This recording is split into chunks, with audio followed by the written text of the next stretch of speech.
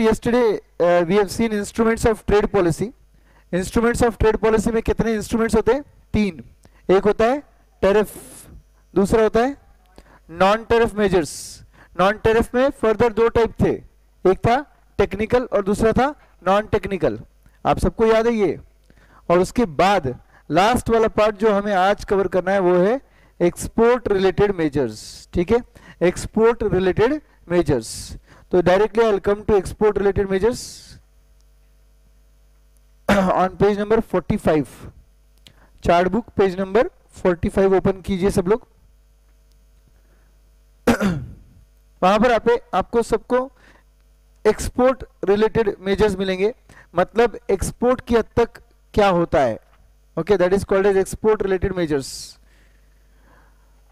तो guys there can be ban on export आप सोच रहे होंगे, सर बैन कैसे करेंगे एक्सपोर्ट को? एक्सपोर्ट तो हमारे लिए अच्छा है बट गाइज़ बैन इसलिए किया जाता है जब, जैसे वैक्सीनेशन के केस में एक्सपोर्ट बैन किया गया था कुछ टाइम के लिए। अनियंस के केस में, अगर हमारे पास शॉर्टेज है तो ऑब्वियसली बैन करना पड़ता है हमें एक्सपोर्ट्स अदरवाइज़ क्या होगा डोमेस्टिक टेरिटरी में गुड्स कम सप्लाई होंगे और बाहर गुड्स ज़्यादा सप्लाई हो जाएँगे। डोमेस्टिक टेरिटरी में ऑलरेडी शॉर्टेज था और वो गुड्स खत्म हो जाएँगे। फिर हमें शायद कहीं से इंपोर्ट करने की बारी आ जाएगी। तो ये ना हो इसलिए there can be a ban on certain type of goods during specifically during shortage अगर वो गुड्स का शॉर्टेज चल रहा हो तो उस केस में obviously there can be a proper ban okay सही है क्या? फिर एक्सपोर्ट टैक्स लगाया जा सकता है। एक्सपोर्ट टैक्सेस लगाए जा सकते हैं। Export tax is tax collected on exported goods and may इधर भी स्पेसिफिक और एडवोलरम आप सबको याद है आई होप सो स्पेसिफिक क्या होता है? एडवोलरम क्या होता है? Specific is per unit physical quantity and ad valorem is percentage okay percentage of what percentage of value तो उसे बोलते हैं एडवोलरम तो जैसे इंपोर्ट के वक्त दोनों सिस्टम होते हैं, वैसे एक्सपोर्ट के वक्त भी दोनों सिस्टम फॉलो किए जा सकते हैं, या तो स्पेसिफिक या तो एडवोलरम ओके okay? फिर या फिर हो सकता है कि एक्सपोर्ट टैक्सेस ना हो सब्सिडीज हो। एक्सपोर्ट पे सब्सिडी भी दिया जा सकता है। मतलब कोई टाइप का फाइनेंशियल कंट्रीब्यूशन जो डोमेस्टिक प्रोड्यूसर को दिया जा रहा है, क्योंकि वो हमारे देश के बीओपी सिचुएशन को बेटर कर रहे हैं। हमारे देश के एक्सपोर्ट अर्निंग्स बढ़ा रहे ना वो। तो उसको सपोर्ट करने के लिए गवर्नमेंट क्या कर सकता है? ग्रांट दे सकता है लोन दे सकता है। इक्विटी इन्फ्यूजन मतलब डायरेक्टली कंपनी में शेयर खरीद सकता है। ताकि वो कंपनी गवर्नमेंट ओन्ड कंपनी बन जाए और वो आगे एक्सपोर्ट्स बढ़ाए हमारे, ओके? एंड ये टाइप के कोई भी टाइप के असिस्टेंस हो सकते हैं जो गवर्नमेंट दे सकता है टू प्रमोट एक्सपोर्ट्स। ठीक है? बट एक बात याद रखो, आप टैक्सेस लगाओ या आप सब्सिडी दो both are considered to be tax the trade distortions trade distortion मतलब फ्री ट्रेड को डिस्टर्ब करने वाली चीज़ें। टैक्सेस लगाएँगे तो हमारे एक्सपोर्ट इंपैक्ट हो जाएँगे। करेक्ट है ना? और अगर सब्सिडी देंगे तो भी वर्ल्ड वेलफेयर लॉस होगा ना? कल हमने देखा था वर्ल्ड वेलफेयर लॉस क्या होता है? कि भाई इंडियन प्रोड्यूसर्स को सब्सिडी मिल रही है। वो यूएस फ्रांस जैसे कंट्री में एक्सपोर्ट्स कर रहे हैं। और वहाँ के डोमेस्टिक प्रोड्यूसर्स को तो कोई सब्सिडी नहीं मिल रही है। तो obviously loss of world welfare हो रहा है।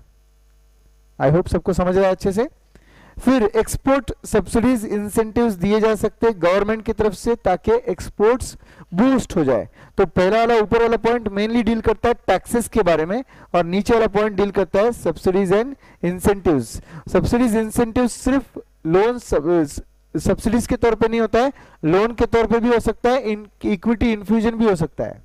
मतलब सामने वाली कंपनी में डायरेक्टली गवर्नमेंट स्टेक खरीद रहा है, ताकि वो एक्सपोर्ट जो कर रहा है उसे और बढ़ावा मिले। उसे और फंडिंग मिलेगा तो वो और एक्सपोर्ट करेगा ना। वॉलेंटरी एक्सपोर्ट रेस्ट्रियंट्स भी लाए जा सकते हैं, जिसको वीईआर e बोलते हैं। वॉलेंटरी एक्सपोर्ट रेस्ट्रियंट रेस्ट्रियंट मतलब रोक। खुद से अपने एक्सपोर्ट्स को रोक देना। They are type of informal quotas informal quotas मतलब इनफॉर्मल एक लिमिट दी जाती है। उसके आगे तुम खुद ही अपने एक्सपोर्ट्स को रोक दो।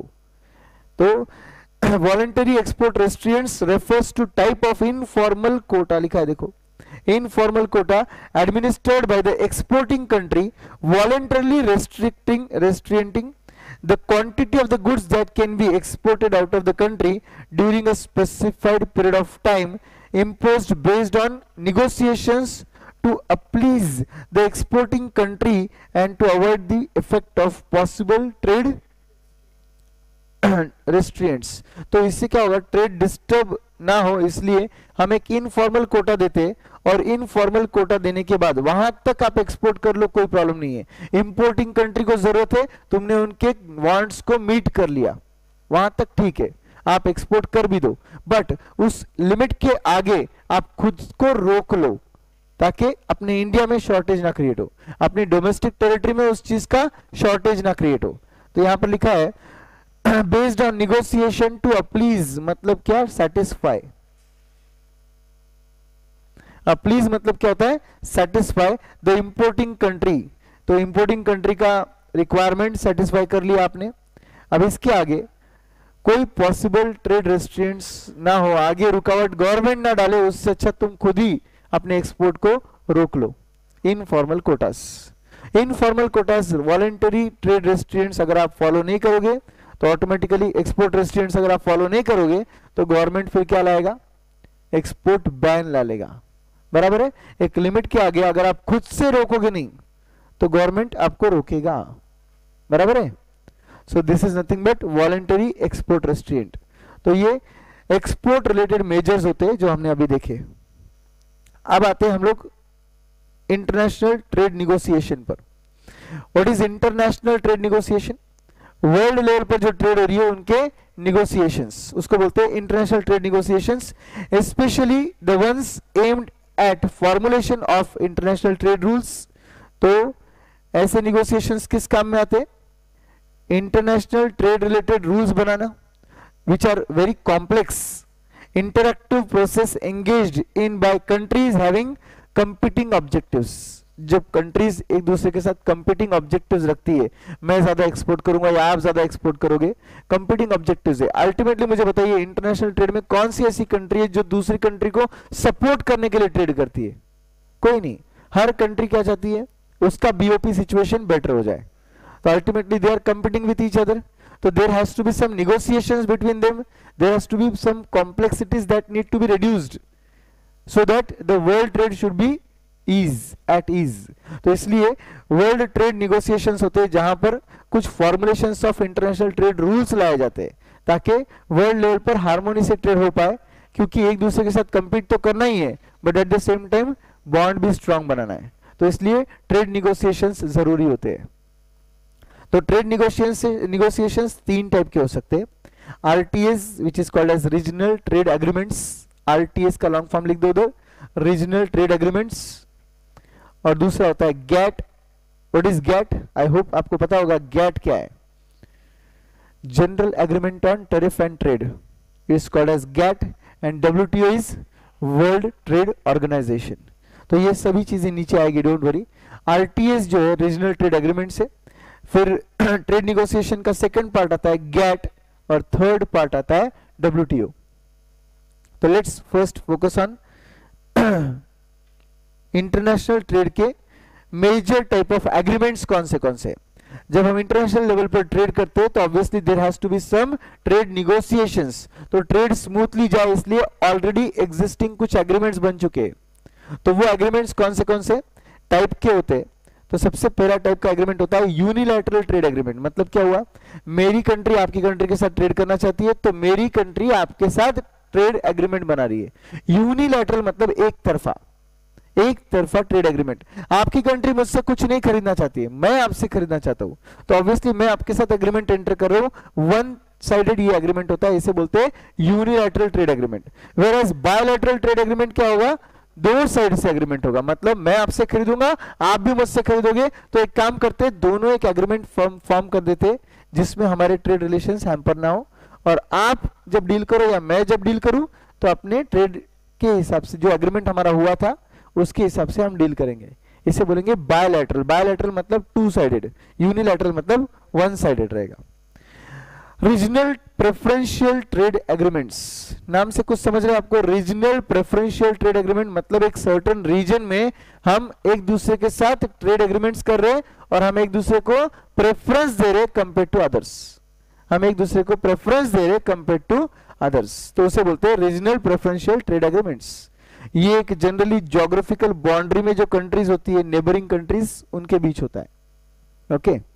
इसे बोलते हैं regional preferential trade agreements now coming to trading bloc but trading bloc के पहले आप पढ़ लो फ्री ट्रेड एरिया पहले हम पढ़ेंगे फ्री ट्रेड एरिया उसके बाद हम ट्रेडिंग ब्लॉक पे जाएँगे।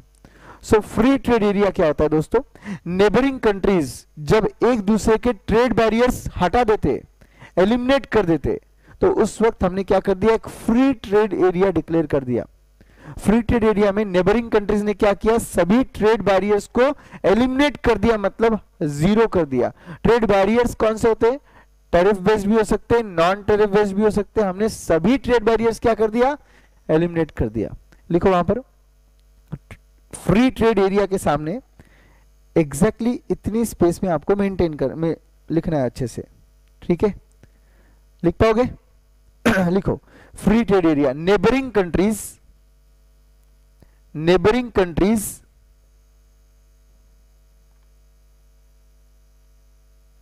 neighbouring countries eliminate neighbouring countries eliminate all trade barriers between them all trade barriers between them between them अब मुझे बताइए, दूसरी कंट्रीज़ के तक क्या होगा? सपोज़ हम चार कंट्रीज़ है। चलो, हमने एक दूसरे के साथ ट्रेड बैरियर्स हटा दिए। हम दूसरी कंट्रीज़ के साथ ट्रेड बैरियर्स का क्या करेंगे? आप, आपका देखो, मैं मेरा देखूँगा। दूसरे कंट्रीज़ के तक हम इंडिपेंडेंस रिटेन करेंगे खुद का। मतलब मैं दूसरी कंट्री को कितना चार्ज करूँगा ट्रेड बैरियर कितना टैरिफ चार्ज करूँगा आप कितना टैरिफ चार्ज करोगे ये अपना अपना इंडिपेंडेंट डिसीज़न रहेगा। हम अपने अंदर क्या कर चुके ट्रेड बैरियर्स को ज़ीरो कर चुके दैट्स इट फिर आप दूसरे कर, आप अगर यूएस के साथ डील करो तो आप क्या करोगे? और मैं यूएस के साथ डील करूँगा तो मैं क्या करूँगा? इसके बारे में हमारा कोई एग्रीमेंट नहीं हुआ है मतलब हम इंडिपेंडेंस मेंटेन कर रहे हैं वहाँ पर। तो आगे लिखोगे आप। And retains and retains independence and retains independence independence of tariff with others and retains independence of tariff with others don't worry वो chart book clean neat tidy नहीं रखना है अपने को अपने एग्ज़ाम के बाद उसका कोई यूज़ नहीं है और लाना भी नहीं है। किसी के मन में इच्छा है उसे वापस यूज़ करने की? नहीं ना तो उसे खराब होने से डरो मत। जितना आप उधर अच्छे से लिखोगे, उतना आप एग्ज़ाम में कंफर्टेबल रहोगे। उतना आपको पढ़ते वक्त भी स्टडी लीव में लगेगा कि ये चार्ट बुक आपने पढ़ी है। ओके ठीक है तो उसको सर इतना कम जगह में कैसे लिख रहे गंदा दिख रहा है। हम यहाँ पे कोई डिज़ाइनिंग नहीं कर रहे। हमें अल्टीमेटली वो एक वर्ड पढ़कर उधर बाजू में जो लिखा है, उससे उसका मीनिंग समझ जाना चाहिए। और बराबर हम दो मार्क का आंसर लिख पाना चाहिए एग्ज़ाम में। ठीक है? तो ऐसा भी क्वेश्चन डायरेक्टली आता है। Explain what is free trade area what is trading bloc ठीक है? तो सिर्फ़ वो एक सेंटेंस आपको लिखने के लिए दो मार्क मिल जाएँगे आपको। ये एग्ज़ाम में आता है तो आपको इसे दो पॉइंट में लिखना है। तो आप दो पॉइंट वही लिख चुके हो जो ऑलरेडी हमने डिक्टेट किए ट्रेडिंग ब्लॉक अपने अपने अंदर क्या कर रहे हैं?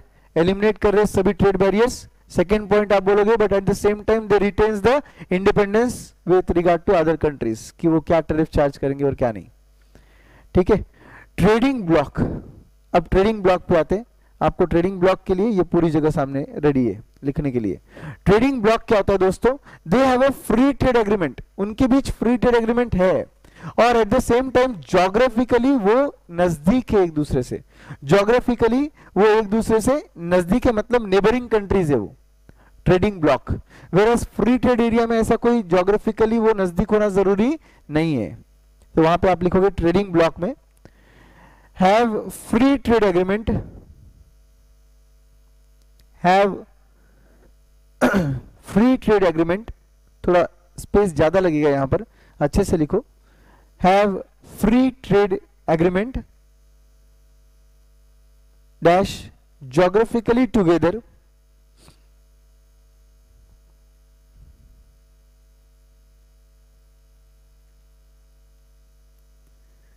geographically together. What about external tariff to others? What about external tariff to others तो यहाँ पे इंडिपेंडेंट नहीं रहेगा। यहाँ पे कॉमन टेरिफ अप्लाई किया जाएगा। मतलब क्या हुआ? ट्रेडिंग ब्लॉक में अगर चार कंट्रीज़ है, ठीक है? तो ये नेबरिंग कंट्रीज़ है, इनके बीच फ्री ट्रेड एग्रीमेंट है मतलब elimination of all trade barriers हो चुका है। फ्री ट्रेड एग्रीमेंट बोल दिया मतलब फ्री ट्रेड हो रहा है ना? तो फिर यहाँ पे बाहर के देश के लिए एक्सटर्नल कोई भी ट्रेडिंग ब्लॉक के बाहर के देश के लिए, ये चार कंट्रीज़ सेम रेट चार्ज करेंगे। कॉमन टेरिफ अप्लाई करेंगे। इसको बोलते हैं ट्रेडिंग ब्लॉक तो यहाँ पे आप लिखोगे and apply and apply common external tariff to others and apply common external tariff to others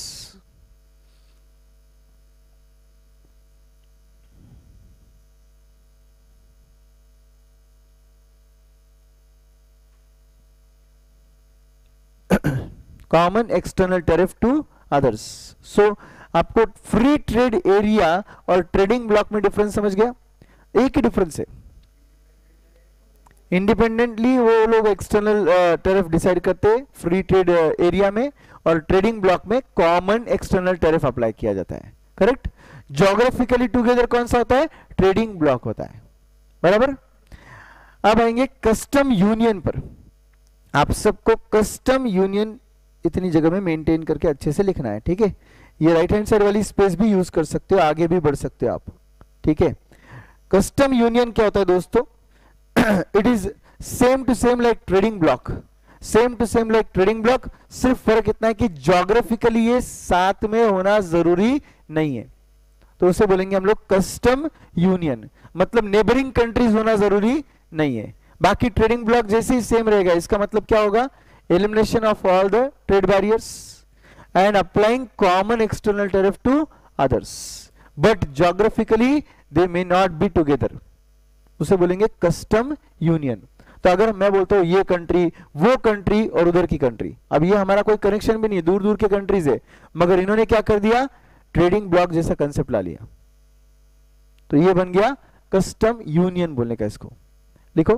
custom union के सामने same as trading bloc same as trading bloc exam में ऐसा नहीं लिखोगे आप. सेम एज ट्रेडिंग ब्लॉक आप क्या लिखोगे मालूम है ना? क्या लिखोगे बोलो? Elimination of all the trade barriers applying common external tariff to others ये लिखोगे आप. ठीक है? अब आपके पास यहाँ पे जगह कम इसलिए हम लिख रहे हैं same as trading bloc no need of geographically togetherness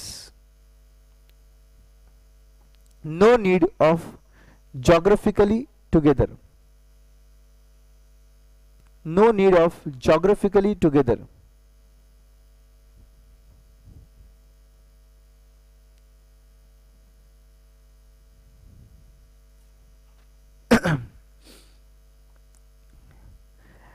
now next part comes here and that is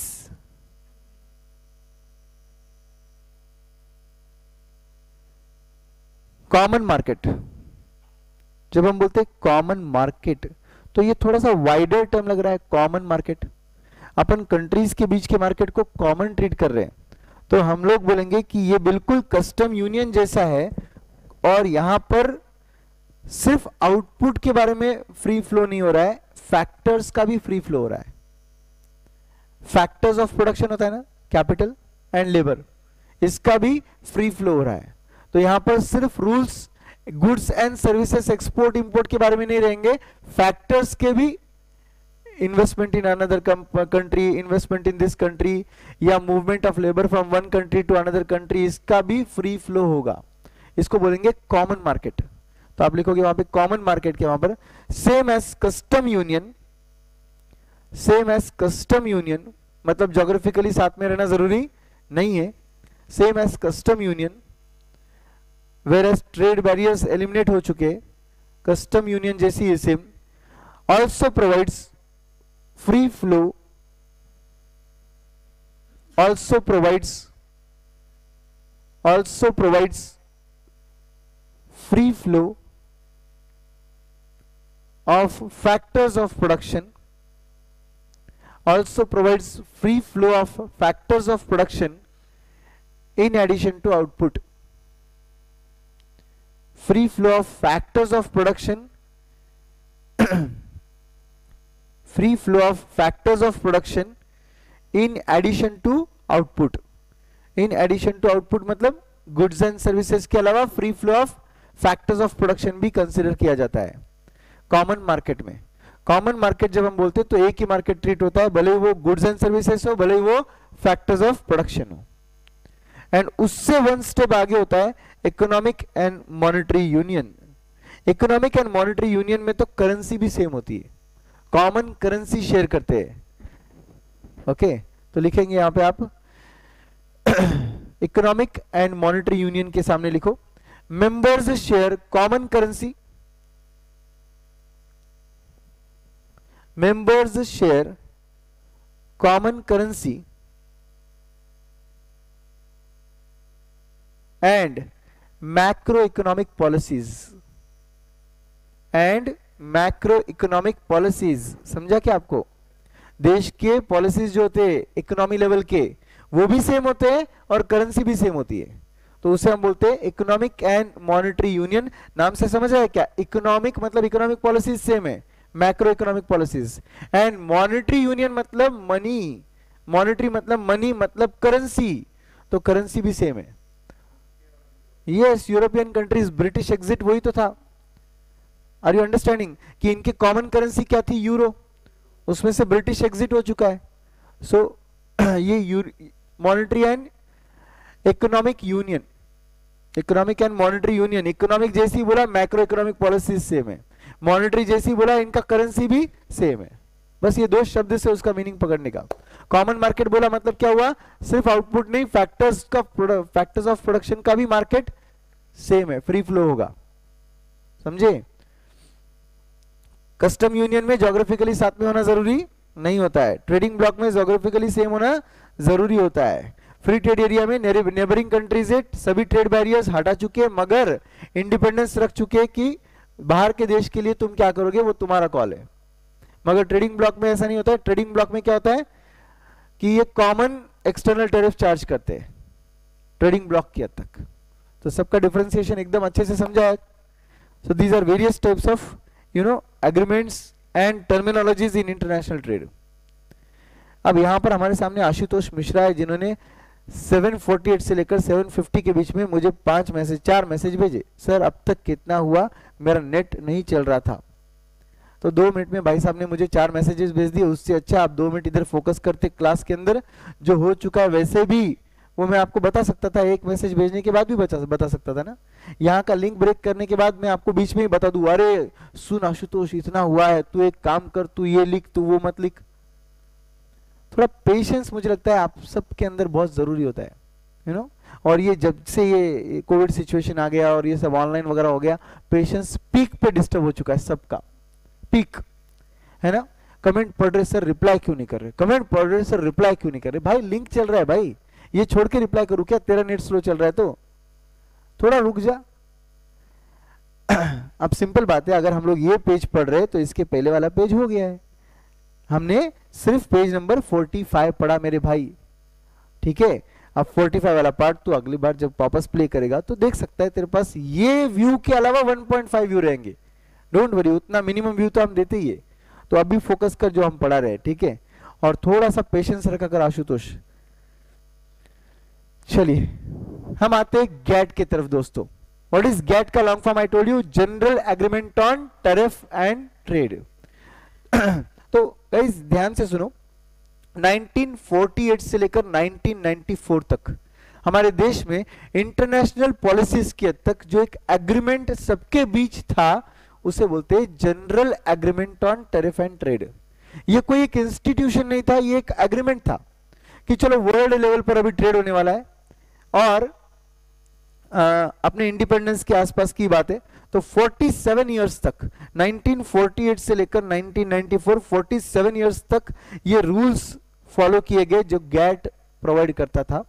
but ये रूल्स सिर्फ़ नाम के रूल्स थे एक्चुअली ये सिर्फ़ you know on paper rules थे। This was considered to be toothless jawless tiger दिखने के लिए बहुत भारी और क्या रूल्स बनाए इंटरनेशनल रूल्स है मगर कोई पावरफुल नहीं है इसके अंदर कोई, क्योंकि एक इंस्टीट्यूशन नहीं है। गैट कोई इंस्टीट्यूशन नहीं था। गैट सिर्फ़ एक एग्रीमेंट थे कि general agreement on tariff and trade मतलब सभी देश एक दूसरे से डील करते वक्त ये एग्रीमेंट्स फॉलो करना चाहिए। मगर देश फॉलो नहीं करते थे। अपने अपने बीच में बायोलेटरल एग्रीमेंट करते थे। मल्टीलेटरल एग्रीमेंट मतलब एग्जिस्ट नहीं करते थे ज़्यादातर। और गैट बोलता था मल्टीलेटरल एग्रीमेंट रखा करो। मतलब एक दूसरे से ट्रेड करते वक्त जनरल एग्रीमेंट फॉलो करो। किसी एक कंट्री को प्रेफरेंस मत दो बायोलेटरल एग्रीमेंट कर कर। There are three types of four types of agreement unilateral एक तरफ़ से बायोलेटरल दोनों तरफ़। प्लूरिलेटरल कुछ कंट्रीज़ के बीच not many but more than two plurilateral and multilateral मतलब सभी कंट्रीज़ के बीच। तो ये चार टर्म्स याद रखो। Unilateral bilateral plurilateral and multilateral तो मैंने सिक्वेंशियली बताया आपको। सबसे छोटा, उससे बड़ा, उससे और बड़ा और सबसे बड़ा। तो गैट बोलता था कि मल्टीलैटरल ट्रेड एग्रीमेंट जो है, वो साइन होना चाहिए और वो यूनिवर्सली सभी लोग एडॉप्ट करके उसी बेसिस पर एग्रीमेंट्स के बेसिस पर ही ट्रेड करने चाहिए। Okay now eight multilateral negotiations known as trade rounds eight के एट ट्रेड राउंड्स हुए. Eight multilateral trade negotiations known as trade rounds held under the GATT auspices मतलब क्या? गैट के पूरे हेल्प के थ्रू मदद के थ्रू हमने आठ राउंड्स लिए ट्रेड राउंड्स और आठ राउंड्स गैट के सपोर्ट या मदद के थ्रू हमने पूरे किए. ओके तो you can write the meaning of the word as support और हेल्प तो गैट के हेल्प या सपोर्ट के थ्रू आठ राउंड्स हुए ट्रेड निगोसिएशंस के। मल्टीलेटरल ट्रेड निगोसिएशन मतलब डिफरेंट कंट्रीज़ के बीच कैसे ट्रेड होना चाहिए। उसके आठ अलग अलग राउंड्स हुए। एट राउंड जो है वो यू, यूरोगे राउंड हुआ था जो 1986 से 1994 मतलब लास्ट वाला राउंड था वो।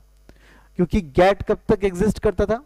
1994 तक ही। 47 इयर्स का पीरियड कहा एंड हो रहा है? 1994 पे एंड हो रहा है। Eight round of Uruguay round 1986 से 1994 तक था, was the last round under the GATT and culminated the birth of WTO मतलब उसकी वजह से WTO का बर्थ हुआ। क्योंकि एक राउंड में समझा कि ये मल्टीलेटरल ट्रेड अराउंड्स हो रहे हमारे, मगर ये अडॉप्ट नहीं हो रहे। हम राउंड्स पे राउंड्स ले रहे कि मल्टीलेटरल ट्रेड एग्रीमेंट में ये चेंज करो। चलो फ़र्स्ट राउंड में डिसाइड हुआ कि ये मल्टीलेटरल ट्रेड एग्रीमेंट रहेगा। सेकंड राउंड में हमने देखा कि प्रैक्टिकल डिफिकल्टी क्या है, चलो इसमें ये चेंज करो। ये नहीं अप्लीकेबल रहेगा, निकाल दो। ये अप्लाई करना है, चलो इनकॉर्पोरेट कर दो। ऐसे अलग अलग सेकेंड थर्ड फोर्थ फिफ्थ ऐसे एट्थ राउंड हुए। एट्थ राउंड हुआ था नाइनटीन सिक्स से 1994 के बीच। आठ साल का वो पीरियड था। एट्थ राउंड हुआ था। उसके बाद that was the last round under the GATT और वहाँ से जन्म हुआ डब्ल्यूटीओ का। इसका मतलब GATT was replaced by W क्योंकि दोस्तों, दोनों में एक बहुत बड़ा डिफरेंस है। गैट सिर्फ़ एक एग्रीमेंट है, मगर डब्ल्यूटीओ एक इंटरनेशनल ऑर्गेनाइजेशन है इंस्टीट्यूशन है। तो अगर कोई आप फॉलो नहीं करेगा रूल्स तो WTO is proper institution to ensure कि वो फॉलो करना चाहिए। और नहीं करेगा तो ऑब्वियसली डब्ल्यूटीओ के मेंबर्स हो आप तो आप पे डब्ल्यू केस कर सकता है। समझे? ये चिन्मय, यहाँ पर एक बहुत अच्छी जानकारी शेयर कर रहे हैं हमारे साथ कि इंडिया यूके के बीच फ्री ट्रेड एग्रीमेंट हुआ है निगोसिएशन हुए to double bilateral trade by 2030 2030 तक हमारे ट्रेड यूके के साथ डबल हो जाने चाहिए, इसलिए फ्री ट्रेड एग्रीमेंट साइन किया गया। बट मैं आपको बता दूँ, ये फ्री ट्रेड एग्रीमेंट्स मोदी आने के बाद बहुत से कंट्रीज़ के साथ साइन किए गए। हमारे पासपोर्ट की वैल्यू भी बढ़ गई है। कुछ कंट्रीज़ में जहाँ पे हमें वीज़ा रिक्वायर्ड था अदरवाइज़ वो वीज़ा भी रिक्वायर्ड नहीं है। इट शोज़ दैट हमारे जो इंटरनेशनल ट्रेड है, वो और भी फ्रीली हो रहा है अभी। तो गैट का यहाँ तक कि यू नो रेलेवेंस था। अब हम लोग धीरे धीरे गैट से कहा जाएँगे? डब्ल्यू की तरफ़ जाएँगे। तो डब्ल्यूटीओ का जन्म कौन से राउंड में हुआ था? Eight round of Uruguay which was in the year 1986 से 1994 was the last and the most consequential of all round मतलब वहाँ पर सबसे ज़्यादा डिसीज़न मेकिंग लिए गए। Consequential of all the rounds and culminated in the birth of WTO and a new set of agreement replacing the GATT was there. New set of agreement वहाँ पर नए एग्रीमेंट्स बने। पुराने जो गैट के agreements थे, उसे रिप्लेस कर दिया गया। Principal objective of the W double dot दे दो इधर। प्रिंसिपल ऑब्जेक्टिव ऑफ़ डब्ल्यूटीओ क्या है? To facilitate the flow of international trade smoothly freely fairly and predictably तो आपके जो इंटरनेशनल ट्रेड हो रहे हैं, वो फ्री होने चाहिए? फेयर होने चाहिए मतलब किसी के लिए कम और किसी के लिए ज़्यादा नहीं होनी चाहिए फेयरनेस होना चाहिए उसमें। प्रेडिक्टेबल भी होनी चाहिए और स्मूथली भी होनी चाहिए। प्रेडिक्टेबल होनी चाहिए मतलब कोई अनसर्टेनिटीज नहीं रहनी चाहिए उसमें। कम से कम अनसर्टेनिटीज रहनी चाहिए और स्मूथनेस रहना चाहिए मतलब ट्रांसपेरेंसी एट इट्स पीक सब कुछ अच्छे से होना चाहिए। सो so, ये डब्ल्यू का प्रिंसिपल ऑब्जेक्टिव है कि इंटरनेशनल ट्रेड इस तरीके से होनी चाहिए। फ्रीली स्मूथली फेयरलेस फेयरनेस होना चाहिए उसमें फेयरली एंड लास्टली प्रेडिक्टेबली होना चाहिए। चार इंपॉर्टेंट कैरेक्टरिस्टिक्स आने चाहिए आपके इंटरनेशनल ट्रेड में according to W main principal W does its function by acting as a forum for trade negotiation मतलब जहाँ पर भी कंट्रीज़ के बीच ट्रेड निगोसिएशन आ रहा है डब्ल्यू आपको मदद करेगा अगर आप दोनों कंट्रीज़ मेंबर कंट्रीज़ रहोगे तो। मतलब अगर इंडिया पाकिस्तान दोनों डब्ल्यूटीओ के मेंबर्स है तो दोनों के बीच ट्रेड हो, इसके लिए कौन निगोसिएशन के लिए बीच में आता है? WTO अब WTO भी अपने से थक चुका है। तो WTO इंडिया पाकिस्तान के बीच नहीं आता है वैसे। क्योंकि कुछ कंट्रीज़ ऐसी है जिनके हेल्दी रिलेशन हो ही नहीं सकते। तो उसमें से एक इंडिया पाकिस्तान है। बट जनरली ऐसा होता है कि अगर कोई मेंबर कंट्रीज़ के बीच कोई दिक्कत आ रही है निगोसिएशंस में तो W comes into picture as a third party amongst the member government administering the trade agreements तो वो क्या करते हैं? निगोसिएशंस के बीच क्या करते वो? ट्रेड एग्रीमेंट्स एडमिनिस्टर करते हैं कि ट्रेड एग्रीमेंट्स बराबर बन रहे हैं क्या? कोई एक कंट्री ज़्यादा फ़ायदा तो नहीं उठा रही है किसी और कंट्री का? Reviewing the national trade policies तो हमारे देश के ट्रेड पॉलिसीज़ को रिव्यू किया जाता है। डब्ल्यू हमारे ट्रेड पॉलिसीज़ रिव्यू करते और अगर कोई चेंज की ज़रूरत है तो वो हमें रिकमेंड करते हैं। Cooperating with other international organisations जैसे कि अदर इंटरनेशनल ऑर्गेनाइजेशंस में वर्ल्ड बैंक भी आता है डब्ल्यू भी आता है आईएमएफ भी आता है। तो आप लिख सकते हो इंटरनेशनल ऑर्गेनाइजेशंस जो अदर इंटरनेशनल ऑर्गेनाइजेशन है, उसमें IMF world bank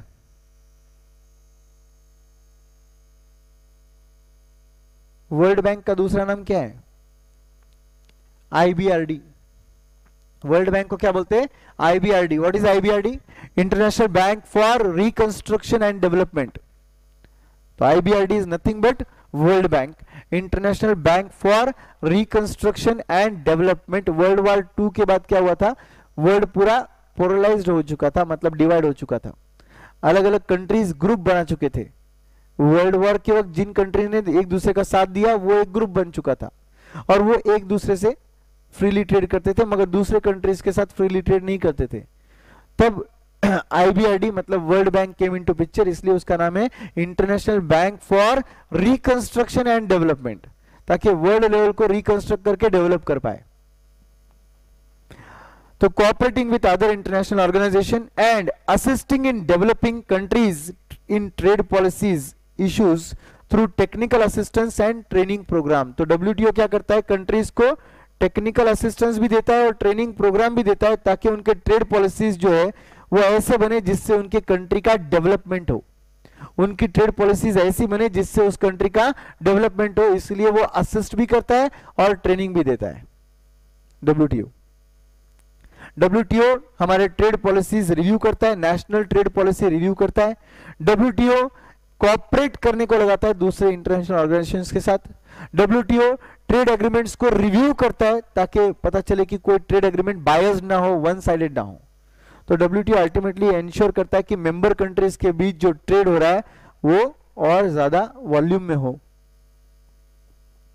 World trade organisation activities are supported by the secretariat located in Geneva. Geneva कहाँ पर है? Where is where is Geneva located Switzerland लिखना है तो लिख दो उधर।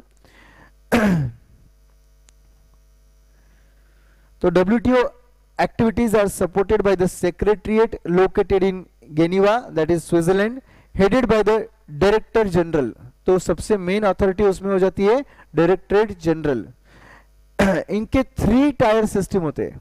थ्री टायर सिस्टम होते हैं मतलब ऐसा एक पिरामिड है, ये टॉप लेवल ये मिडिल लेवल और ये बॉटम लेवल ऐसे थ्री टायर सिस्टम चलता है डब्ल्यू की हद तक थ्री टायर में the top level decision making body is the ministerial conference तो टॉप लेवल पे कौन है? मिनिस्ट्रियल कॉन्फ्रेंस है। उसके बाद फॉलोड बाय काउंसिल्स यहाँ पर भी काउंसिल है और नीचे भी काउंसिल है।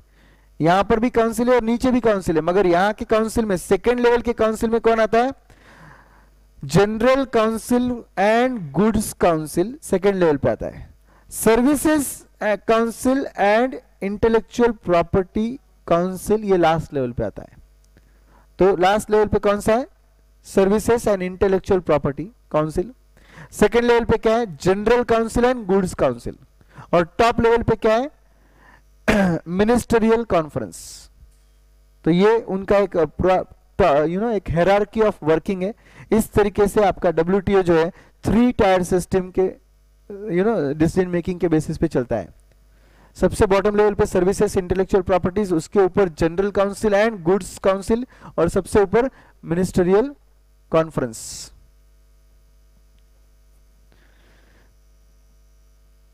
डब्ल्यूटीओ के बारे में बात करेंगे तो मेंबर्स के तक there are 164 member countries in WTO out of which 117 WTO members are developing countries including India of course और उनके पास या तो वो डेवलपिंग कंट्रीज़ है, या तो उनके पास सेपरेट कस्टम टेरिटरीज है which account for more than या about 95 percent of world trade just imagine करो कि डब्ल्यू के मेंबर कंट्रीज़ 164 है उसमें से 117 कंट्रीज़ या तो डेवलपिंग है या तो सेपरेट कस्टम टेरिटरीज है उनके पास और वो वर्ल्ड ट्रेड का 95 परसेंट ट्रेड अकाउंट फॉर करते हैं मतलब उनके बीच 95 परसेंट ट्रेड हो रहा है this is all about WTO members and everything. Now coming to major guidelines, guiding principles of WTO. ये सिर्फ़ एक बार जस्ट पढ़ लो ट्रेड विदाउट डिस्टॉर्शन होनी चाहिए डिस्क्रिमिनेशन होनी चाहिए। मोस्ट फेवर्ड नेशन का कंसेप्ट नहीं होना चाहिए। What is the meaning of discrimination biasness भेदभाव। तो जब मैं एक कंट्री के साथ डील कर रहा हूँ तो मैंने जो टर्म्स एंड कंडीशंस उसके साथ फॉलो किए, मैंने वही सेम दूसरे के साथ भी फॉलो करने चाहिए। International trade should be without discrimination that is most favoured nations वगैरह ऐसे कुछ कंसेप्ट मत लाओ। मोस्ट फेवर्ड नेशंस मतलब अपने अपने बीच फेवरेटिज्म रखो, दूसरों को लेस फेवरेटिज्म दो, ऐसे डब्ल्यू अलाउ नहीं करता है। नेशनल ट्रीटमेंट प्रिंसिपल ये एक बहुत ही बेहतरीन प्रिंसिपल है। नेशनल ट्रीटमेंट प्रिंसिपल क्या बोलता है, मालूम है? लेट्स से कि कि एक कंट्री से हमारे पास एप्पल्स आए। एप्पल्स ओके अब इंडिया में तो आ गए वो एप्पल्स नेशनल ट्रीटमेंट प्रिंसिपल बोलता है कि कंट्री ऑफ़ ओरिजिन मत देखो और सीधा सीधा उसको उतनी ही वैल्यू दो जितनी आप डोमेस्टिकली प्रोड्यूस गुड्स को दे रहे हो और उसको डिस्प्ले बोलो या सेल्स के एफर्ट्स बोलो, उतने ही लो जितने आप डोमेस्टिक गुड्स के लिए ले रहे हो। मतलब फॉर एग्ज़ाम्पल इंपोर्टेड एप्पल था, हमने एकदम डिस्प्ले में पीछे रखा और इंडिया के एप्पल्स हमने सामने रखे हाईलाइट किए सामने। जो भी बायर आ रहा है, पहले उसको इंडिया के एप्पल्स दिख रहे और इंपोर्टेड एप्पल सबसे पीछे, ऐसा नहीं होना चाहिए। सेलिंग अपॉर्चुनिटी सबके लिए सेम होना चाहिए। इसे बोलते हैं नेशनल ट्रीटमेंट प्रिंसिपल मतलब एक बार वो तुम्हारे डोमेस्टिक टेरिटरी में आ गए you they should be not treated less favourably than your domestic goods एक बार वो डोमेस्टिक टेरिटरी में आ गए तो उनको उतना ही प्रेफरेंस दो, उनको उतने ही यू नो अपॉर्चुनिटी दो सेलिंग की जितना तुमने डोमेस्टिक गुड्स को दिया है। उसे बोलते हैं national treatment principle free trade होना चाहिए कंट्रीज़ के बीच प्रेडिक्टेबल ट्रेड होना चाहिए। जनरल प्रोहिबिशन होने चाहिए क्यू के रिलेटेड क्वांटिटेटिव रेस्ट्रिक्शंस जो है, वो जनरली नहीं होने चाहिए। अगर अनटिल अदरवाइज़ तुम्हारे पास कोई स्पेसिफिक रीजन है कि तुम वो क्यू आर क्यों डाल रहे हो? अदरवाइज़ डब्ल्यू बोलता है कि क्वांटिटेटिव रेस्ट्रिक्शंस मत डालो।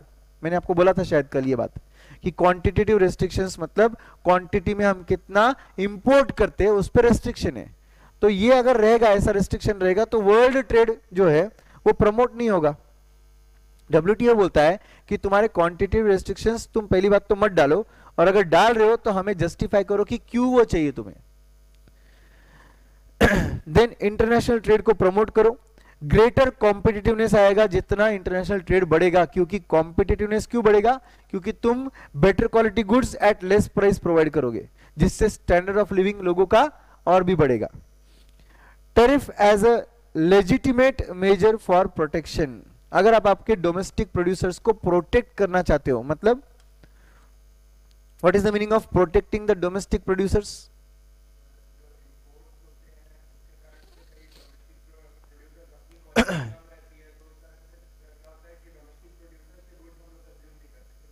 correct imported goods की वजह से ऐसा होता है कि डोमेस्टिक प्रोड्यूसर्स को प्रायोरिटीज कम मिलती है।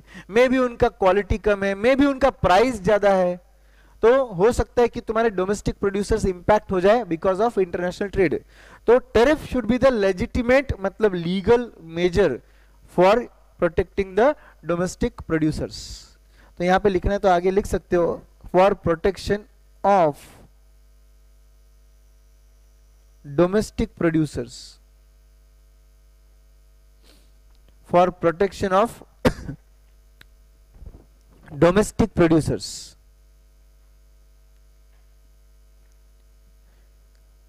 For protection of domestic producers. लिखा? Then transparency in decision making होनी चाहिए। कोई भी डिसीज़न मेकिंग ऐसा नहीं होना चाहिए जिससे W T O is favouring developed nations generally ये भी आर्ग्यूमेंट होता है कि W T O is favouring developed nations but ऐसा नहीं होना चाहिए, उनका जो भी डिसीज़न मेकिंग है, उसमें ट्रांसपेरेंसी होनी चाहिए। And at the same time आपकी कंट्री अगर कोई डिसीज़न मेकिंग कर रहे तो उसमें भी ट्रांसपेरेंसी रखो कि आपने वो डिसीज़न क्यों लिया। प्रोग्रेसिव लिबरलाइजेशन मतलब जैसे जैसे कंट्री आगे प्रोग्रेस हो लिबरलाइजेशन प्रमोट होना चाहिए। मतलब there should be minimum barriers to trade there should be minimum barriers to trade उसको बोलते हैं लिबरलाइजेशन चाहिए तो आगे लिख दो। Liberalisation that is minimum barriers to trade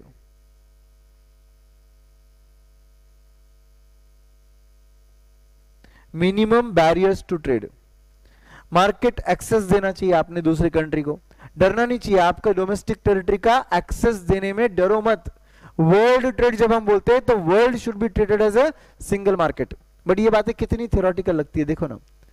market का एक्सेस दे दो। मार्केट का एक्सेस दे देंगे तो डोमेस्टिक प्रोड्यूसर्स की लग जाएँगे। कुछ भी हो सकता है ना।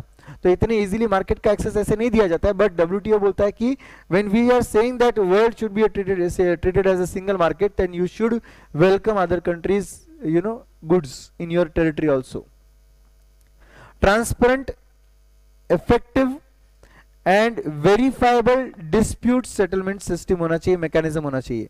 अगर कोई डिस्प्यूट हुआ तो वो डिस्प्यूट सेटलमेंट एकदम ट्रांसपेरेंट तरीके से होना चाहिए।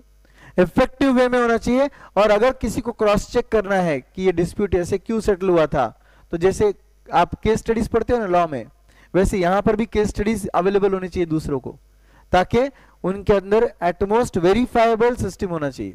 फॉर एग्ज़ाम्पल यूएस ने इंडिया में आके इन्वेस्टमेंट किया और उससे रिलेटेड कोई डिस्प्यूट हो गया। या चलो फॉर एग्ज़ाम्पल वोडाफोन का तो लाइव केस है। वोडाफोन इंडिया में आया बिज़नेस किया और वोडाफोन का इनकम टैक्स का इतना बड़ा पंगा हो गया। तो ऑब्वियसली ये एक तरफा डिस्प्यूट हो गया था, क्योंकि वोडाफोन इंडिया के बाहर की कंपनी है। अब इंडिया के बाहर की कंपनी जब इंडिया में आके बिज़नेस कर रही है और उसका कोई डिस्प्यूट हुआ तो उसका settlement mechanism number one transparent होना चाहिए नंबर टू इफ़ेक्टिव होना चाहिए और नंबर थ्री वेरीफाइबल होना चाहिए। कि अगर कल जाके उनको लगता है कि हमारे साथ अनफेयर हुआ है तो देख लो भाई, ये ये पैरामीटर्स के बेसिस पर हमने ये डिसाइड किया। समझे? ऐसा नहीं होना चाहिए कि हम जो डिसाइड कर ले वो फाइनल है, ये हमारी कंट्री है, हमारे कानून में। आपको कोई अधिकार नहीं है ये पूछने का कि क्यों किया। ऐसा नहीं होना चाहिए। There should be verifiable system for trade dispute mechanism कि वो ट्रेड डिस्प्यूट कैसे सेटल हो रहा है। तो ये तो मैंने आपको इनकम टैक्स एंड वोडाफोन का एग्जांपल दिया। जनरली ट्रेड डिस्प्यूट ऐसे नहीं होते ट्रेड डिस्प्यूट होते, एक कंट्री और दूसरी कंट्री के बीच इंपोर्ट एक्सपोर्ट का कुछ पंगा। Then special privileges to less develop countries मिलने चाहिए। क्योंकि डब्ल्यूटीओ जब बोलता है कि ट्रेड वर्ल्ड लेवल पे होना चाहिए तो उसमें लेस डेवलप्ड कंट्रीज़ को कुछ अलग प्रिविलेजेस अगर अलग कोई प्रिविलेजेस नहीं दिए जाएँगे तो लेस डेवलप्ड कंट्री तो डेवलप्ड कंट्रीज़ के सामने झुक जाएगी। क्योंकि डेवलप कंट्रीज़ के पास कैपिटल भी ज़्यादा है टेक्नोलॉजी भी बेटर है तो वो तो राज करेंगे लेस डेवलप कंट्रीज़ पे। ऐसा ना हो लेस डेवलप कंट्रीज़ को प्रिविलेजेस मिलने चाहिए मतलब डेवलप नेशंस के मुकाबले कुछ एडिशनल बेनिफिट मिलना चाहिए। और ये पॉइंट बाद में डाला गया एक्चुअली क्योंकि जब लेस डेवलप कंट्रीज़ ने बोला कि डब्ल्यू इज़ यू नो एक डेवलप्ड uh, नेशंस की चाल है ये डब्ल्यू फॉर्म करना।